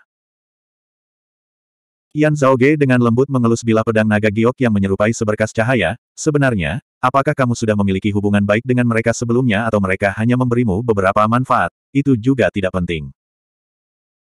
Selama aku tahu bahwa kamu sedang mendekati kematian, itu sudah cukup. Lagi pula, kamu masih mencoba membuatku mati. Yan Su di depannya mendesis dan mengeluarkan raungan gila, berjuang dengan tubuhnya saat dia menerjang ke arah Yan Zhaoge sekali lagi. Tanpa ekspresi, Yan Zhaoge menebas dengan pedangnya. Cahaya biru melintas di cakrawala. Membawa serta kepala Yan Su, terbang langsung ke langit. Kedua matanya, menatap dengan liar ke depan, menunjukkan betapa sekarat di tangan Yan Zhaoge yang budidayanya jauh lebih rendah darinya, dia tidak akan pernah bisa beristirahat dengan damai. Setelah menebas dengan pedang itu, Yan Zhaoge sudah lama berbalik, berbalik menghadap Ye Jing. Di sana, di dalam dunia es dan salju, kilauan api menyala sekali lagi, saat sosok manusia bergerak dengan susah payah. Meskipun tidak seperti Yan Su, yang telah terkena langsung oleh raungan naga glasial, dia hanya terkena dampak gelombang kejut, Ye Jing saat ini masih berjuang bahkan untuk bergerak. Melihat ke atas, Yan Zhaoge melihat bahwa seluruh tubuh Ye Jing saat ini sepenuhnya dikelilingi oleh api. Pola api merah di tubuhnya bergerak dan melingkar di seluruh tubuhnya sesuka mereka. Ye Jing memancarkan aura yang mengintimidasi, tidak mirip dengan bagaimana dia sebelumnya sebagai kekuatan yang berasal dari samudera ki di dalam dantiannya meletus dari semua lubang di tubuhnya. Pada saat ini, sumber kekuatannya sepertinya adalah pola api yang telah menyelimuti seluruh tubuhnya. Panas yang mengejutkan bangkit darinya dalam gelombang tanpa akhir, berbenturan dengan dunia es dan salju di sekitarnya. Uap air putih mengembun di sekelilingnya, menyerupai awan seperti kabut saat pecahan es serta air yang mencair turun ke tanah dalam bentuk hujan lebat. Melihat Ye Jing, Yan Zhaoge mengangkat alisnya sedikit, seperti yang kuduga, auramu mendekati auramu dari suku iblis api. Disertai dengan Anda semakin dalam dan semakin dalam pada teknik Anda itu, perubahan dalam fisik Anda menjadi semakin jelas. Panca indera Yejing telah benar-benar kewalahan oleh pola api yang menyelimuti tubuhnya saat dia memancarkan rasa keindahan estetika yang liar, sementara juga tampil ganas dan kejam. Api liar itu tampak seperti dibiarkan mengamuk, itu akan membakar langit, meluas tanpa batas sampai tidak ada lagi yang tersisa di dunia ini. Ye Jing memelototi Yan Zhao Ge, Yan, Zhao, Ge. Menghadap ke langit, dia melolong panjang, kamu telah menyakitiku berkali-kali, ingin membuatku mati. Permusuhan ini, kebencian ini kita tidak dapat bertahan hidup bersama di bawah langit yang sama ini. Atas dasar apa Yusao direnggut olehmu? Atas dasar apa kau selalu di atas? Atas dasar apa Anda tidak perlu melakukan upaya apa pun, namun dapat mencapai hasil yang orang lain akan kesulitan untuk mereproduksi sepanjang hidup mereka. Atas dasar apa sementara Anda jelas-jelas mencoba membunuh saya di Siling Dragon Abyss, orang-orang dari Broad Creek Mountain semuanya ada di pihak Anda. Apakah semua ini ditakdirkan? Apakah itu semua pengaturan surga? Aku meludahinya. Menyerupai dua gumpalan api hantu di dunia lain, cahaya di dalam mata Ye Jing berkedip, aku tidak percaya takdir. Saya tidak mempercayai surga, saya hanya mempercayai diri saya sendiri. Petik 2. Saya ingin menjadi kuat, jika aku kuat, Yusao tidak akan pergi bersamamu. Petik 2. Jika aku kuat, aku pasti akan menginjakmu ke dalam lumpur. Jika aku kuat, orang lain tidak akan bersandar padamu hanya karena anjing itu, ayahmu yang lebih tua. Jika aku kuat, di siling Dragon Abyss, aku akan melihatmu mati, daripada melihat diriku sendiri disakiti olehmu. Jika kamu ingin membunuhku, aku akan membunuhmu. Jika Broadcreek Mountain ingin melindungimu, aku akan menghancurkan Broadcreek Mountain. Petik 2. Entah kamu akan mati, atau aku akan binasa. Ye Jing melolong liar, berubah menjadi sosok yang menyala-nyala saat dia meluncur ke arah Yan Zhaoge. Bahkan tidak berkedip sekali, lubang di seluruh tubuh Yan Zhaoge bergetar saat aura kinya melonjak. Itu berubah menjadi telapak tangan besar, mengirim Ye Jing terbang dengan satu tamparan. Ledakan. Saat ledakan keras bergema, Ye Jing langsung ditampar terbang. Yan Zhaoge memutar lehernya sedikit, anginnya terlalu kencang, apa yang Anda katakan, saya tidak bisa mendengar. HSSB 97, Yan ini ingin kamu mati di tengah malam, yang bisa membuatmu tetap hidup sampai fajar. Lubang di seluruh tubuh Yan Zhaoge bergetar bersama. Ki yang kacau di dalam dantiannya terbagi menjadi dua, satu yin satu yang, satu dingin yang panas.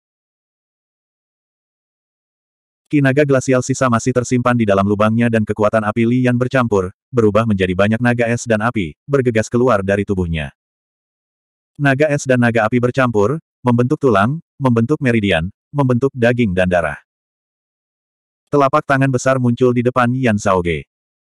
Ye Jing yang baru saja dikirim terbang oleh Yan Zhaoge dengan satu tamparan tergeletak di tanah, setengah dari tubuhnya hancur. Melihatnya, Yan Zhaoge melihatnya menangis karena terkejut saat dia berjuang tanpa henti. Cincin merah tua itu tampak bersinar sekali lagi saat dari dalam menggema raungan liar yang sepertinya berasal dari masa lampau yang berabad-abad, menembus spektrum waktu yang tak terbatas. Alih-alih menyembur keluar dengan darah, sejumlah besar api mulai melonjak keluar dari luka di separuh tubuhnya yang rusak oleh Ye Jing.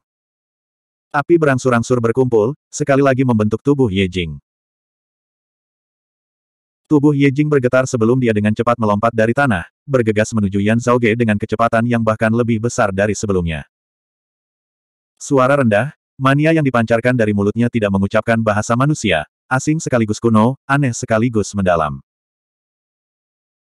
Telapak tangan Ye Jing didorong ke depan, api yang mengelilingi tubuhnya membentuk cahaya merah, keras dan sangat panas. Di mana cahaya merah tua bersentuhan, setiap hal di langit dan bumi, bahkan udara itu sendiri, benar-benar tampak mulai terbakar.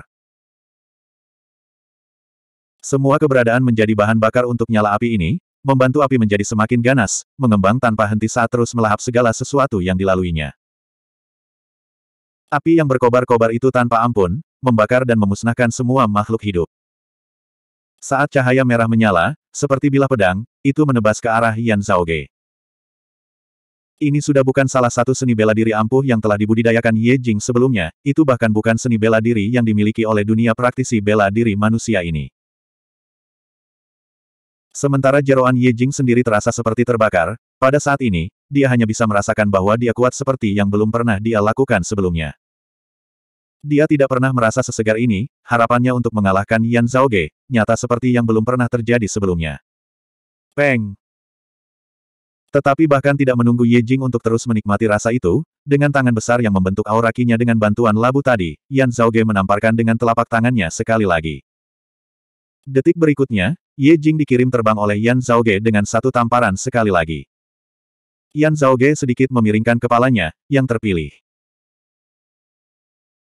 Ye Jing berbaring di lantai, menyerupai ikan yang telah dipisahkan dari sumber airnya saat dia menjatuhkan diri dan berjuang, memelototi Yan Zhaoge dengan sepasang mata merah menyala. Bahkan pupil matanya seolah-olah akan mulai menyala dengan nyala api. Yan Zhaoge, bagaimanapun, tidak menatapnya, malah mengamati sekeliling mereka. Penatua hacet hantu seharusnya tidak Anda harapkan, tetapi pada saat ini, apakah Anda berpikir bahwa Martial Grandmaster lain tiba-tiba akan melompat keluar untuk menyelamatkan Anda? Atau seorang gadis cantik, gadis itu datang untuk menyelamatkan sang pahlawan. Petik 2. Sebenarnya, sejak dulu aku berharap kau dibawa oleh klan Matahari Suci atau Gunung Tak Terbatas Tanpa Batas, terutama yang pertama. Sebelumnya di Siling Dragon Abyss, melihat cincinmu itu, aku sudah menduga kalau cincin itu berhubungan dengan Kaisar Iblis Api. Yan Zhaoge tersenyum, pada saat itu, perbedaan antara kamu dan Iblis Api masih cukup besar. Jika klan Matahari Suci memiliki pengawasan dan hanya memandang tinggi Anda untuk tubuh apinya, bagus untuk berkultivasi dalam seni bela diri mereka, mungkin mereka benar-benar akan membawa Anda masuk. Petik 2. Saat itu, tambang itu akan berhasil terkubur. Namun, kau semakin mendekati kematian, senyum Yan Zhaoge berubah semakin dingin, meninggalkanmu di dunia ini serius, itu akan setara dengan mencemari udara itu sendiri. Sejak Anda mengadili kematian, izinkan saya mengirim Anda ke jalan Anda. Ekspresi dingin dan acuh tak acuh di wajahnya, Yan Zhaoge berjalan menuju Ye Jing selangkah demi selangkah. Setiap langkah yang mendarat, bumi sepertinya bergetar saat telapak tangan besar yang membentuk aura ki di atasnya menjadi semakin padat dan nyata, juga semakin masif dan menakutkan. Entitas kekuasaan, beberapa sedingin es, beberapa sangat panas yang dijaga oleh sisi Yan Zhaoge karena mereka menyerupai gerombolan naga, karena itu seperti dewa yang turun ke bumi yang sederhana ini. Ketegasan berkedip di mata Ye Jing saat dia melolong dengan marah, anjing, bahkan jika aku mati, aku akan menyeretmu ke bawah bersamaku. Saat dia melolong, Ye Jing berjuang saat dia mengulurkan telapak tangannya dengan cincin merah tua itu. Cincin itu sudah sepenuhnya berubah menjadi lingkaran cahaya merah, menempel di jarinya. Di dalam lingkaran cahaya terdapat pemandangan dari neraka yang membara dari lava yang mengalir, saat raksasa ilusi api yang berkobar samar-samar terungkap sekali lagi, tampaknya mengaum dengan marah ke arah langit. Telah rusak parah oleh Si Tai, kekuatan cincin ini juga sangat melemah. Sekarang, Ye Jing sebenarnya berencana untuk mengaktifkan dan melepaskannya dengan kekuatan hidupnya sendiri. Api iblis meninggalkan tubuh. Bakar surga dan bumi. Petik 2. Dengan tangan di mana dia mengenakan cincin merah tua itu, Ye Jing benar-benar menembus langsung ke dadanya sendiri. Cincin merah tua tenggelam ke dalam tubuh Ye Jing yang sekarang sudah hampir seluruhnya terdiri dari api, sebelum di dalam tubuhnya, cahaya menyilaukan tiba-tiba menyala. Itu bukan lagi cahaya merah api, melainkan cahaya putih terang. Cahaya putih yang menusuk dipancarkan langsung dari dalam tubuh Ye Jing yang terdiri dari nyala api karena nyala api yang melompat ini tiba-tiba tampak mengeras pada saat ini. Selanjutnya, retakan mulai secara bertahap muncul di tubuh Ye Jing seolah-olah itu terbuat dari porselen. Di dalam celah, cahaya putih tumbuh semakin menyilaukan, kekuatan penghancur yang berasal dari dalam menjadi semakin berbeda. Melihat adegan ini, Yan Zhaoge terkekeh. Tidak menghindari atau mengelak, telapak tangan besar di atas kepalanya membentuk aura kinya, masih turun begitu saja saat terbanting ke bawah. Ledakan. Saat ledakan besar bergema, Cahaya putih yang belum meletus, padam. Dengan satu telapak tangan, Yan Zhaoge membanting seluruh orang Ye Jing ke tanah. Dengan dua dari mereka di tengah, sekitar 100 meter tanah semua runtuh, mengubur ke dalam saat kawah raksasa yang dalam terbentuk. Yan Zhaoge melangkah ke udara, diam-diam berdiri di langit di atas kawah yang dalam saat dia menundukkan kepalanya untuk melihat ke dalamnya. Hantu kecil belaka, dan kamu masih berpikir pantas menyebut dirimu iblis. Kamu benar-benar berpikir bahwa kamu adalah kaisar iblis api. Di dasar kawah yang dalam ada sosok yang hampir tidak tampak seperti manusia lagi, karena menyerupai sisa abu setelah kebakaran besar. Kakinya telah benar-benar lenyap bersama dengan salah satu lengannya, hanya menyisakan satu lengan, sebuah cincin penuh dengan retakan yang masih dikenakan di jarinya. Seluruh kulit tubuhnya menyerupai arang bakar. Hanya beberapa pola merah tua yang masih bisa dilihat, bercahaya dengan cahaya dalam interval yang terputus-putus karena menyerupai bara api di abu yang masih belum benar-benar padam. Seorang Ye Jing yang wajahnya hitam seperti arang memelototi Yan Zhaoge di atasnya, lemah dan tidak berdaya seperti yang belum pernah dia lakukan sebelumnya, meskipun kebencian serta kemarahan dalam tatapannya juga intens seperti yang belum pernah terjadi sebelumnya.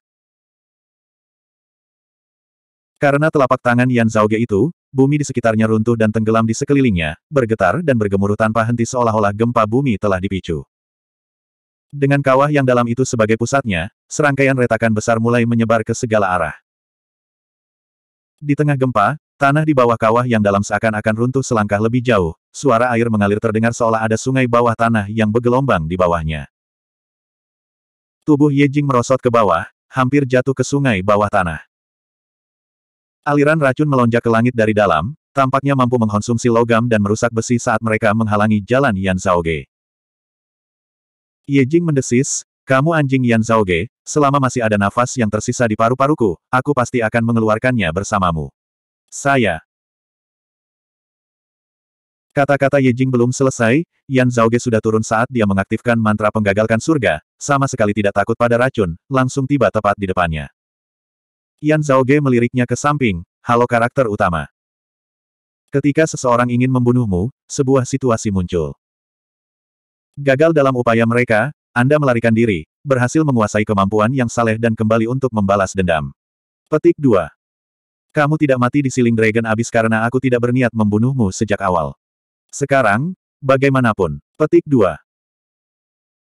Telapak tangan besar yang terbentuk dari aura ki di atas kepala Yan Zhaoge, membanting ke bawah sekali lagi. Yan ini ingin kamu mati di tengah malam, yang bisa membuatmu tetap hidup sampai fajar. Saat telapak tangannya turun, lolongan amarah Ye Jing, tiba-tiba, berhenti. Ledakan. Saat ledakan besar bergema, kehancuran total dan total. Siluet samar jiwa, benar-benar hancur. Jiwa terbang dan roh berhamburan, untuk melengkapi dan mengucapkan, kekal, kutukan. HSSB 98, panen yang bagus. Saat telapak tangan itu mendarat, seolah-olah pemandangan aneh yang menyimpang dari yang biasa muncul di depan mata Yan Zhaoge. Seolah-olah aliran ki dari langit dan bumi dapat dilihat, semuanya bersatu untuk memberikan dukungan mereka kepada Ye Jing. Ketika waktu, langit dan bumi memberikan kekuatan bersama, keberuntungan langit dan bumi bertemu. Dan dengan satu telapak tangannya, aliran ki dari langit dan bumi perlahan-lahan menghilang, berubah menjadi ilusi seiring dengan gelombang awan dan naiknya angin. Ketika waktu, langit dan bumi memberikan kekuatan bersama, pahlawan beruntung mana yang tidak memiliki kebebasan. Yan Zhaoge tertawar yang saat dia dengan lembut meniup ke arah adegan yang sangat halus itu.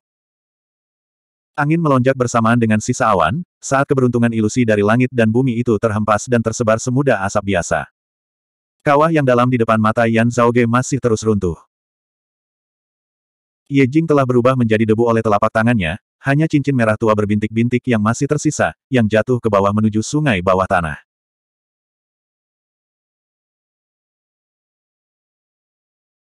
Menghilang begitu saja, siapa yang tahu kapan itu akan memulihkan vitalitasnya, melihat langit dan matahari sekali lagi, mengambil bentuk pertemuan kebetulan untuk pemuda berdarah panas lainnya, memberinya kesempatan untuk bangkit sekali lagi, jari emas yang menentang langit ke mana pun itu menunjuk, mencapai legenda dan mitos lain. Petik 2. Yan Zhaoge meringkuk di sudut mulutnya. Seolah-olah. Membuat gerakan meraih dengan telapak tangannya, dia menyedot cincin merah tua dari udara ke dalamnya dengan bantuan aura kinya. Melangkah ke udara, Mengerahkan sedikit kekuatan dengan kakinya, sosok Yan Zhaoge bangkit dari dasar kawah yang dalam, terbang keluar darinya. Ahu datang menemuinya, Tuan Muda. Yan Zhaoge mengangguk, kumpulkan tubuh Yan Su dengan baik, dan juga barang-barang miliknya. Ahu tertawa sederhana dan jujur, hehe, Tuan Muda, Anda tidak perlu mengatakan itu kepada saya. Barang-barangnya saya ambil semua saat saya bisa. Petik 2. Yan Zhaoge meringkuk bibirnya, N, aku selalu mempercayaimu untuk itu. Ahu berkata, Tuan Muda, saya telah melihat sekilas, dan memang ada cukup banyak hal baik di dalamnya. Sayang sekali kebanyakan dari mereka, seperti artefak roh kelas menengah miliknya, rusak, yang pasti disebabkan oleh serangan tetua si itu. Petik 2. Yan Zhaoge menghela nafas, itu sudah bisa diduga, jika tidak, kami juga tidak akan bisa merawatnya dengan mudah. Petik 2. Namun, setidaknya, masih ada beberapa hadiah, Yan Zhaoge menyemangati dirinya. Sebagai penatua kepala suatu wilayah, simpanan pribadi Yan Su cukup melimpah. Dia tidak akan membawa banyak dari barang-barang ini bersamanya, melainkan menyimpannya dengan aman di dalam kediaman pribadinya. Hal-hal yang dia miliki pada dirinya adalah sesuatu yang sangat dia butuhkan akhir-akhir ini, atau sesuatu yang dapat membantunya meningkatkan kemampuan bertarungnya saat ini. Meskipun ada kekurangan artefak serta artefak roh, sebagai penatua utama dari Broad Creek Mountain, salah satu dari sedikit tempat suci di dunia ini, senjata ampuh yang cocok untuk seseorang dari kultivasi Yansu secara alami tidak akan kurang. Selain artefak roh tingkat menengah, pedang sinar matahari tersembunyi, Yansu juga memiliki dua artefak roh tingkat rendah yang menyertainya. Meskipun tidak satupun dari mereka sekuat Hidden Clear Sunlight Sword, mereka berdua masih memiliki kegunaan halus mereka sendiri. Sebuah pelindung cahaya pelindung sementara tidak seperti armor mimpi buruk hitam Ahu, itu tidak memiliki fungsi ganda untuk dapat menyerang dan bertahan, itu tidak kalah dalam hal kemampuan bertahan. Sabuk hijau khusus dibuat untuk berkoordinasi dengan bencana angin dari bencana kebakaran angin Gunung Krit luas, menyebabkan praktisi bela diri menjadi seperti harimau yang diberi sayap ketika melaksanakan teknik gerakan bencana angin. Kedua artefak roh tingkat rendah ini telah jatuh ke tangan Yansu, melepaskan kekuatan mereka yang sebenarnya dalam keadaan normal, penggunaannya pasti akan sangat hebat. Sayang sekali apakah itu Yansu atau mereka, mereka sama sekali tidak memiliki tingkat kekuatan yang sama dengan Si Tai. Sebelumnya, ketika Yansu ingin melarikan diri, dia langsung mengaktifkan kekuatan sabuk hijau untuk menahan pukulan Si Tai, sedangkan baju besi ringan secara otomatis bergerak untuk melindunginya. Akibatnya, Kedua artefak roh tingkat rendah itu mengalami nasib yang sama dengan pemiliknya dan telah rusak. Melihat mereka sekarang, mereka penuh dengan retakan, dari mana ki spiritual bocor tanpa henti. Apalagi tidak bisa menggunakannya, mereka akan hancur total. Tingkat kerusakan mereka bahkan lebih parah daripada untuk Hidden Clear Sunlight Sword.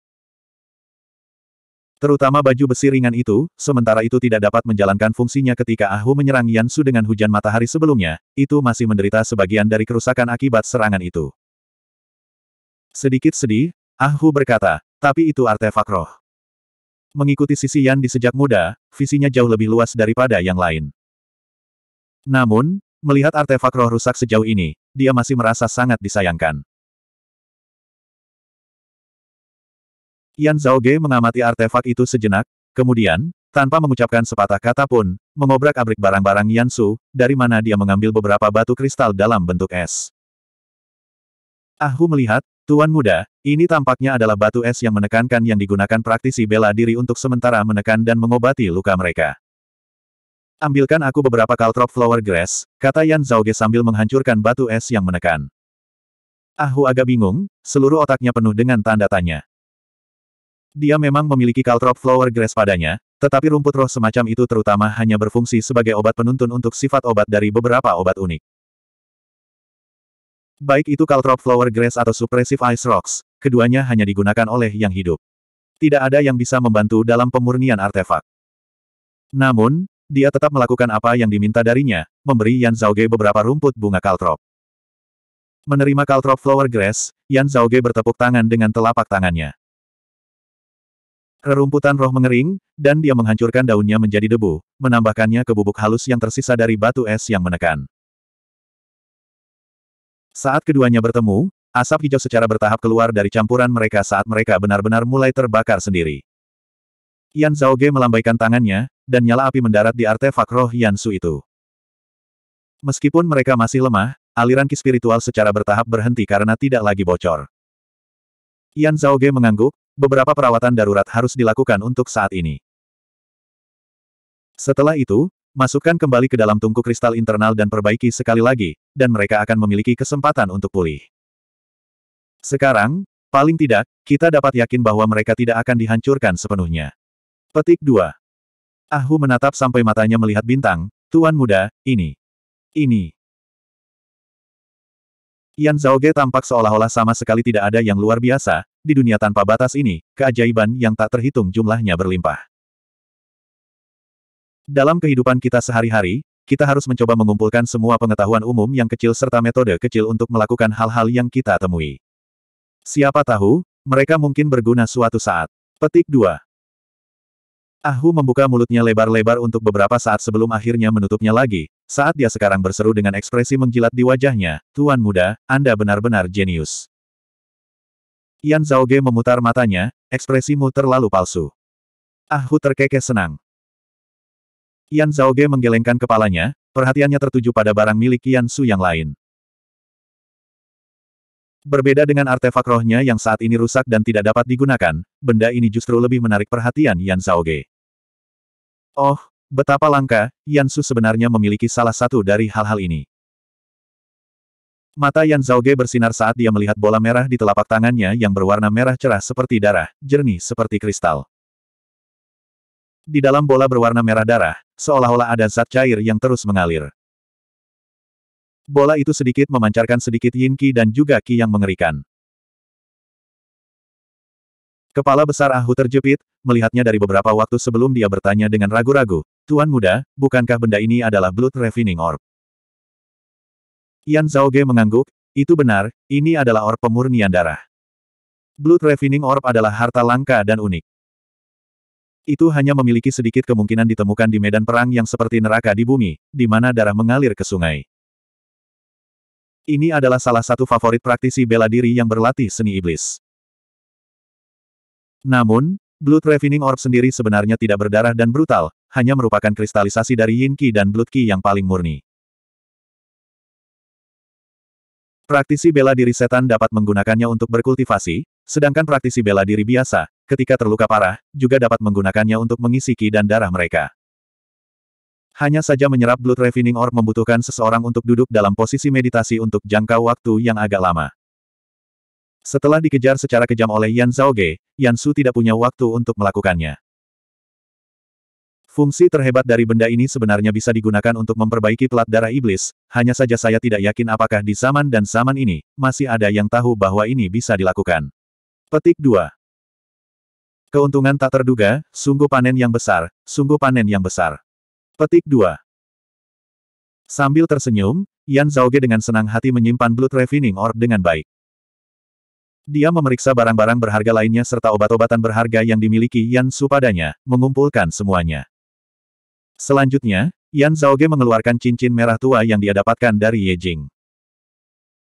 HSSB 99, benih api di dalam dantiannya. Yan Zhaoge menggosok cincin yang penuh retakan itu. Cincin ini sebelumnya berbentuk cahaya, bahkan telah bergabung ke dalam tubuh Ye Jing. Sekarang, itu telah mendapatkan kembali bentuk aslinya sekali lagi. Hanya saja cincin yang semula menyilaukan dan mencolok seperti nyala api saat ini redup dan sama sekali tanpa cahaya karena tampak penuh dengan debu, serta sangat berbintik-bintik. Banyak retakan di bagian luar cincin, menyerupai jaring laba-laba karena cincin itu tampak seolah-olah bisa pecah kapan saja. Namun, memegang cincin di tangannya, Yan Zhaoge samar-samar masih bisa merasakan panas yang terkandung di dalamnya. Yan Zhaoge menyipitkan matanya, memfokuskan pikirannya untuk perlahan-lahan tenggelam di dalam ring. Pemandangan di depan matanya langsung berubah. Pertama adalah kegelapan pekat. Selanjutnya, dalam kegelapan di mana seseorang tidak dapat melihat bahkan tangan mereka yang terulur, cahaya tiba-tiba menyala. Cahaya itu sebenarnya sangat lemah, hanya sebaris cahaya redup.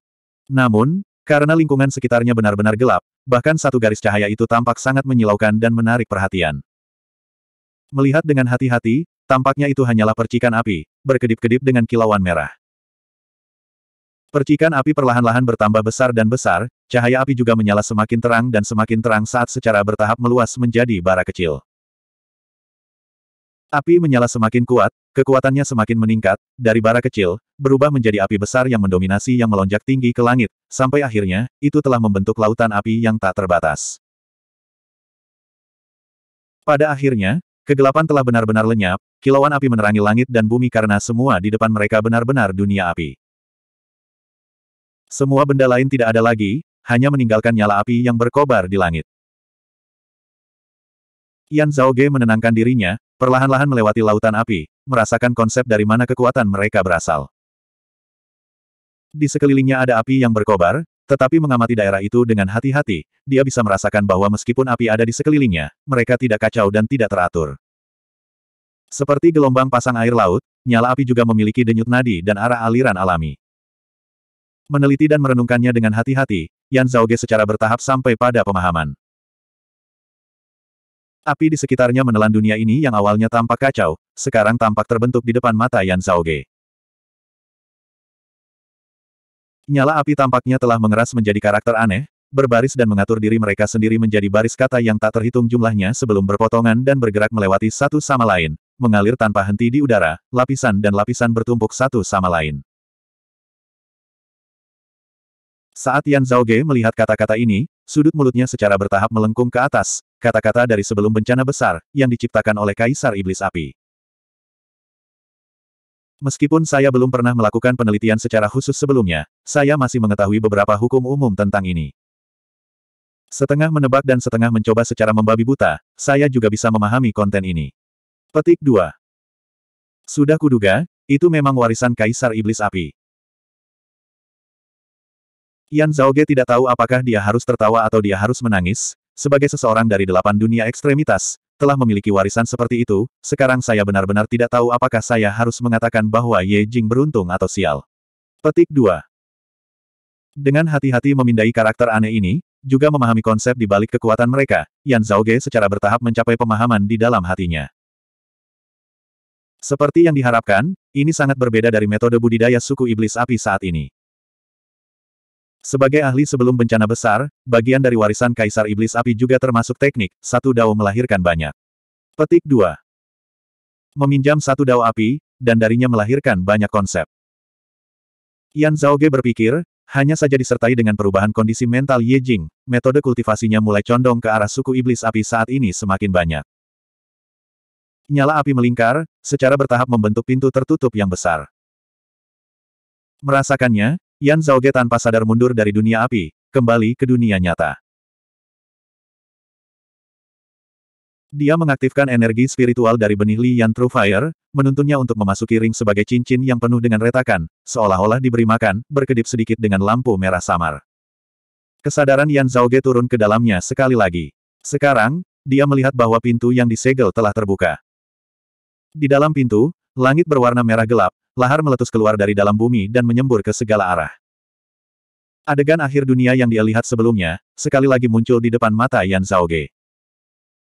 Api yang mencakup semuanya perlahan memadat di udara, secara bertahap membentuk gambar ilusi dari dewa api yang sangat besar, kuno dan kuat.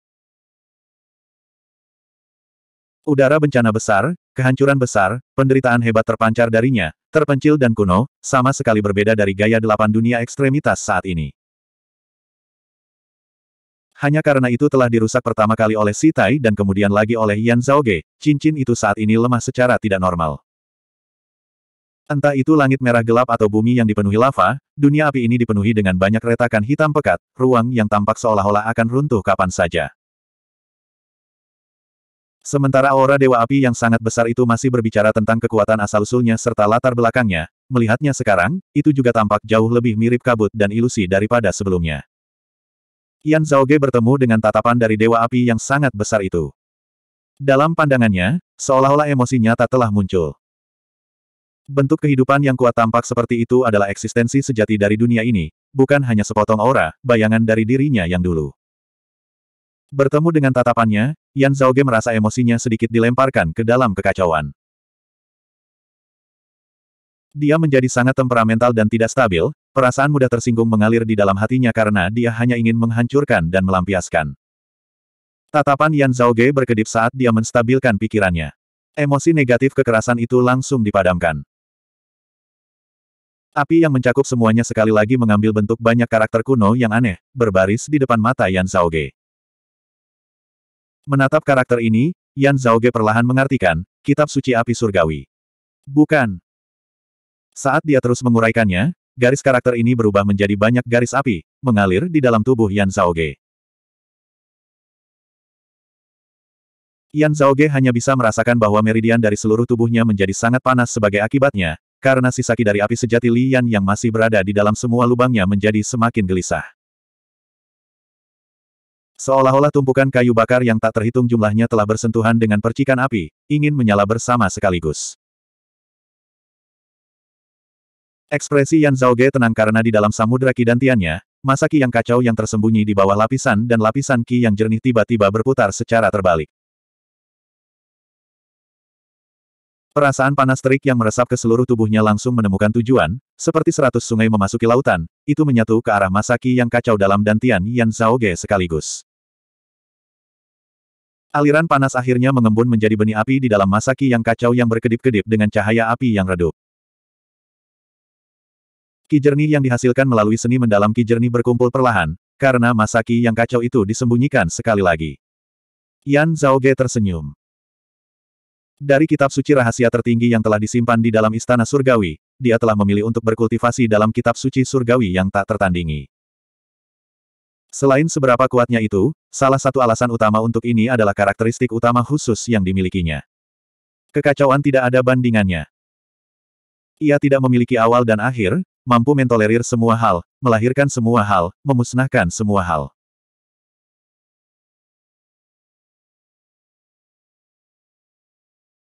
Poin terkuat dari kitab suci surgawi yang tak tertandingi adalah toleransinya yang ekstrim, mampu menyimpan, mengakumulasi, dan pada dasarnya mengasimilasi kitab suci bela diri lainnya ke dalam dirinya sendiri sementara tidak mengungkapkan jejak apa pun dari ini, apalagi mampu meniru serta beralih antara kata-kata yang dimiliki seni setelah asimilasi selesai. Seperti garis keturunan langsung clear key profound art dari Broad Creek Mountain. Seperti kitab suci api surgawi suci ini. Dalam budidaya di dalamnya, dia secara alami tidak akan menjadi seperti Ye Jing. Yan Zhaoge mengangguk sedikit. Kitab suci api surgawi memang memiliki wilayah yang unik. Kebetulan itu juga akan berguna dalam eksperimen yang akan datang. Saat dia kembali ke dunia nyata, Ahu saat ini sedang berdiri di samping, menatap ke kejauhan. Yan Zhaoge menyimpan cincin itu, dirinya juga menatap ke kejauhan. Di sana, belahan hitam masif yang terbalik dan hitam menelan langit dan bumi yang tak terbatas. Itu tepatnya domain Twilight Dark Moon unik dari Twilight Lord Klan Matahari Suci. Di belahan bumi, cahaya kemasan berkaca-kaca berkedip tanpa henti. Seiring waktu berlalu, cahaya kemasan yang mengkilap semakin terang dan semakin terang. Sekarang, itu mulai menembus keluar dari belahan bumi. Akhirnya, Retakan muncul di bagian atas belahan bumi saat mulai pecah, cahaya kemasan naik ke langit. Sosok samar dapat dilihat di tengahnya, tampaknya naik perlahan ke udara. Paman magang tertua benar-benar adalah paman magang tertua, Yan Zhaoge memuji saat Ah Hu di sampingnya mengangguk berulang kali setuju. Namun, ekspresi Ah Hu segera berubah saat dia berbalik untuk melihat ke kejauhan. Dari sana, tampaknya ada aura kubah yang kuat yang saat ini mendekat, menutupi langit dan menutupi bumi. Dari maksud tinju yang terkandung di dalamnya, ternyata itu adalah seseorang dari klan Matahari Suci. Kultivasi pendatang baru, bahkan lebih tinggi daripada Twilight Lord. Ahu berkata dengan nada rendah, aku khawatir, itu adalah kakek dari Xiao Shen. Yan Zhaoge sama-sama memandang ke arah itu, ekspresi jauh di wajahnya. HSSB 100, hal-hal menjadi semakin besar. Aura yang menakutkan dan kuat, menyerupai langit tanpa batas dan laut tanpa batas, perlahan muncul di kejauhan. Di cakrawala yang jauh, cahaya kemasan yang menyilaukan bersinar, menyerupai matahari yang terbit dari timur saat fajar. Tersentuh oleh cahaya itu, domain malam hitam yang disebabkan oleh Twilight Dark Moon of the Twilight Lord yang awalnya sudah mulai hancur tampak lebih rapuh dari sebelumnya. Malam hitam akhirnya berlalu, matahari terbit ke langit karena semuanya cerah sekali lagi. Yan Zhaoge melihat ke kejauhan, bergumam, warisan klan matahari suci, budidaya dari Grandmaster bela diri kematian melampaui. Petik 2. Tahap keempat dan terakhir dari alam martial Grandmaster dikenal sebagai tahap kematian melampaui. Melampaui kematian, memasuki kesucian. Setelah melangkah ke alam ini berarti bahwa seorang praktisi bela diri secara resmi dapat mulai mempersiapkan terobosan mereka ke dunia martial Saint. Secara umum, seperti praktisi bela diri di puncak alam cendikiawan bela diri, Tahap koneksi surgawi, sebagian besar master bela diri kematian melampaui akan pergi ke kultivasi terpencil untuk mempersiapkan terobosan mereka. Ahli melampaui kematian jarang aktif di dunia, kebanyakan dari mereka bersembunyi di suatu tempat untuk berkultivasi, berharap untuk melangkah melewati batas terakhir dari alam fana, langsung mencapai kesucian. Mencapai kesucian tidak hanya membutuhkan lompatan besar dalam kekuatan, sebagai hasilnya, umur panjang praktisi bela diri juga akan meningkat pesat. Oleh karena itu, Master bela diri melampaui mortalitas jarang aktif. Tetapi pada saat ini, tepat di depan mata Yan Zhaoge, sepertinya Grandmaster bela diri melampaui kematian benar-benar turun. Pan Botai, penatua agung dari klan Matahari Suci, Yan Zhaoge berkata perlahan, penguasa pemiring barat dari generasi pertama tujuh matahari yang berkuasa, telah pensiun saat melangkah ke tahap melampaui kematian, meneruskan posisinya ke bawah generasi. Kakek Xiao Shen, seharusnya dia baik-baik saja. Petik 2. Yan Zhaoge berkata dengan santai, di antara master bela diri keabadian yang melampaui, dia dapat dianggap sebagai salah satu yang lebih aktif, terkadang muncul di dunia. Ahu berkata dengan ekspresi sedih di wajahnya, Tuan muda, tetua si sudah mungkin tidak dapat menangani monster tua ini, bahkan tidak mempertimbangkan fakta bahwa masih ada Twilight Lord di sampingnya. Yan Zhaoge mengangguk sedikit. Sekarang, Sosok berkedip saat seorang lelaki tua kurus muncul di hadapannya. Justru Elder Broadcreek Mountain yang telah membantunya menahan Martial Grandmaster dari Secret Sun Clan serta Ghost Hatchet Elder melalui Golden Curtain Palem sebelumnya. Melihat Yan Zhaoge dan Ahu dan juga kepala Yan Su yang dipenggal, penatua kurus itu sedikit terkejut. Bagaimanapun, pada akhirnya, Yan Su masih menjadi ahli Martial Grandmaster, budidayanya tidak kalah dengan Elder kurus itu sendiri sedikitpun. Meskipun dia telah terluka parah oleh si Tai sebelumnya, unta yang lemah dan sekarat masih lebih besar dari seekor kuda. Namun, Yan Zhaoge dan Ahus sebenarnya bisa membunuhnya tanpa membayar harga apa pun. Luka pada tubuh Ahu masih disebabkan oleh serangan diam-diam Xiao Shen dengan Sun Rain sebelumnya di Spirit Wind Canyon. Semua ini jatuh ke mata penatua yang kurus, tidak mungkin dia tidak keberatan. Jika dikatakan bahwa mereka telah meminjam kekuatan artefak roh, Yansu sendiri juga memiliki beberapa. Meskipun itu sama-sama rusak parah oleh Sitai sebelumnya, dengan artefak roh kelas menengah, Hidden Clear Sunlight Sword, dalam hal persenjataan, Yansu sebenarnya masih tidak akan dirugikan. Penatua yang kurus kering dengan cepat mengguncang lawan-lawannya dan bergegas ke sini, awalnya percaya bahwa itu sudah menjadi kemenangan selama Yan Zhaoge dan Ahu bisa memanfaatkan luka Yan Su untuk mengurangi kecepatan pelariannya.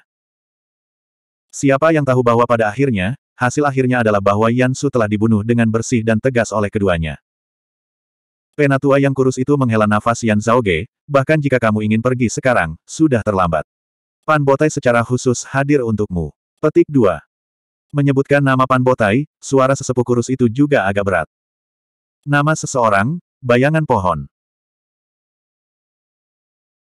Pan Botai adalah tetua lama dari klan Matahari Suci, berasal dari generasi yang sama dengan orang suci yang datang dari timur, The Sun Kamsis, Huang Guangli serta kepala klan tua Broad Creek Mountain, Heaven Equaling, Yuan Zhengfeng. Sebagai seorang ahli terkenal di antara semua martial grandmaster, dia telah menjadi terkenal bertahun-tahun yang lalu, prestasinya dalam pertempuran yang luar biasa, dan bahkan melangkah ke tahap melampaui mortalitas. Tekanan yang dia bawa kepada orang lain secara alami bukanlah sesuatu yang bisa dibandingkan dengan orang-orang seperti Twilight Lord dan East Rising Lord. Tatapan di mana Penatua Kurus memandang Yan Zhaoge memiliki beberapa emosi yang sedikit rumit. Meskipun dia telah memperkuat Yan Zhaoge tepat waktu sebelumnya, membantunya menahan Martial Grandmaster dari klan Matahari Suci, tidak menunjukkan tanda-tanda ketakutan di hadapan musuh sedikitpun, tentang Yan Zhaoge telah membunuh Xiao Shen, penatua yang kurus kering. Masih menyimpan beberapa keberatan. Melihat tatapan tetua, Yan Zhaoge mendapat gambaran umum tentang apa yang dia pikirkan. Di Broad Creek Mountain, ada kecenderungan pemikiran bahwa akan lebih baik bagi mereka untuk menghindari konflik dengan klan Sun Suci sebanyak mungkin, diam-diam mengumpulkan kekuatan mereka saat mereka menunggu kesempatan untuk bangkit sekali lagi. Jika perlu, sebenarnya tidak masalah bagi mereka untuk membuat beberapa konsesi, hanya memastikan sebanyak mungkin bahwa kepentingan inti mereka tidak dikompromikan. Di antara sesepuh klan lama, dari generasi yang lebih tua, kebanyakan berpikir seperti ini. Elder kurus di hadapannya, juga salah satu dari mereka. Adapun generasi senior dengan Yandi dan Sitai di kepala mereka, kebanyakan dari mereka malah menganjurkan cara agresif dan progresif. Karena serangan klan Matahari Suci semakin tak terkendali dan tanpa syarat dalam beberapa tahun terakhir. Seperti yang mereka lihat, bersikap konservatif dan membuat konsesi setara dengan puas dengan membiarkan klan Sun Suci perlahan-lahan memotong daging mereka dan mengeluarkan darah mereka dengan pisau. Tidak hanya mereka tidak akan dapat mengumpulkan kekuatan mereka secara diam-diam seperti yang diinginkan oleh generasi yang lebih tua, sebaliknya, mereka akan menjadi stagnan dan tidak bergerak, atau bahkan bergerak mundur. Bahkan jika mereka tidak bergerak mundur, pada saat klan matahari suci serta tempat suci lainnya terus meningkat kekuatannya, mereka sendiri tetap stagnan akan seperti mencoba mendayung perahu melawan arus-arus. The Secret Sun Clan tidak pernah, dan tidak akan pernah diam-diam di samping, karena niat baik memungkinkan Broad Creek Mountain untuk terus berkembang dan mengejar mereka, bahkan mungkin melampaui mereka. Jika mereka maju secara konservatif, Mempercayakan harapan mereka ke masa depan, itu hampir seperti membangun menara di udara, sama baiknya dengan menyerahkan inisiatif kepada pihak lain di atas piring. Jika seseorang benar-benar ingin berbicara tentang harapan, satu-satunya harapan adalah peristiwa penting seperti invasi skala besar oleh iblis api yang terjadi sekali lagi. Jika peristiwa penting seperti itu terjadi, klan Matahari Suci akan menerima kerugian terbesar. Persis seperti yang terjadi di Broad Creek Mountain dahulu kala ketika mereka berada di puncaknya. Tapi hal semacam itu, siapa yang bisa memprediksi secara akurat? Paman magang kedua Yan Zhaoge, Fang Zun, awalnya adalah salah satu dari sedikit anggota generasi senior dari faksi moderat, juga telah menerima dukungan dari banyak tetua lama dari generasi yang lebih tua sebagai hasilnya.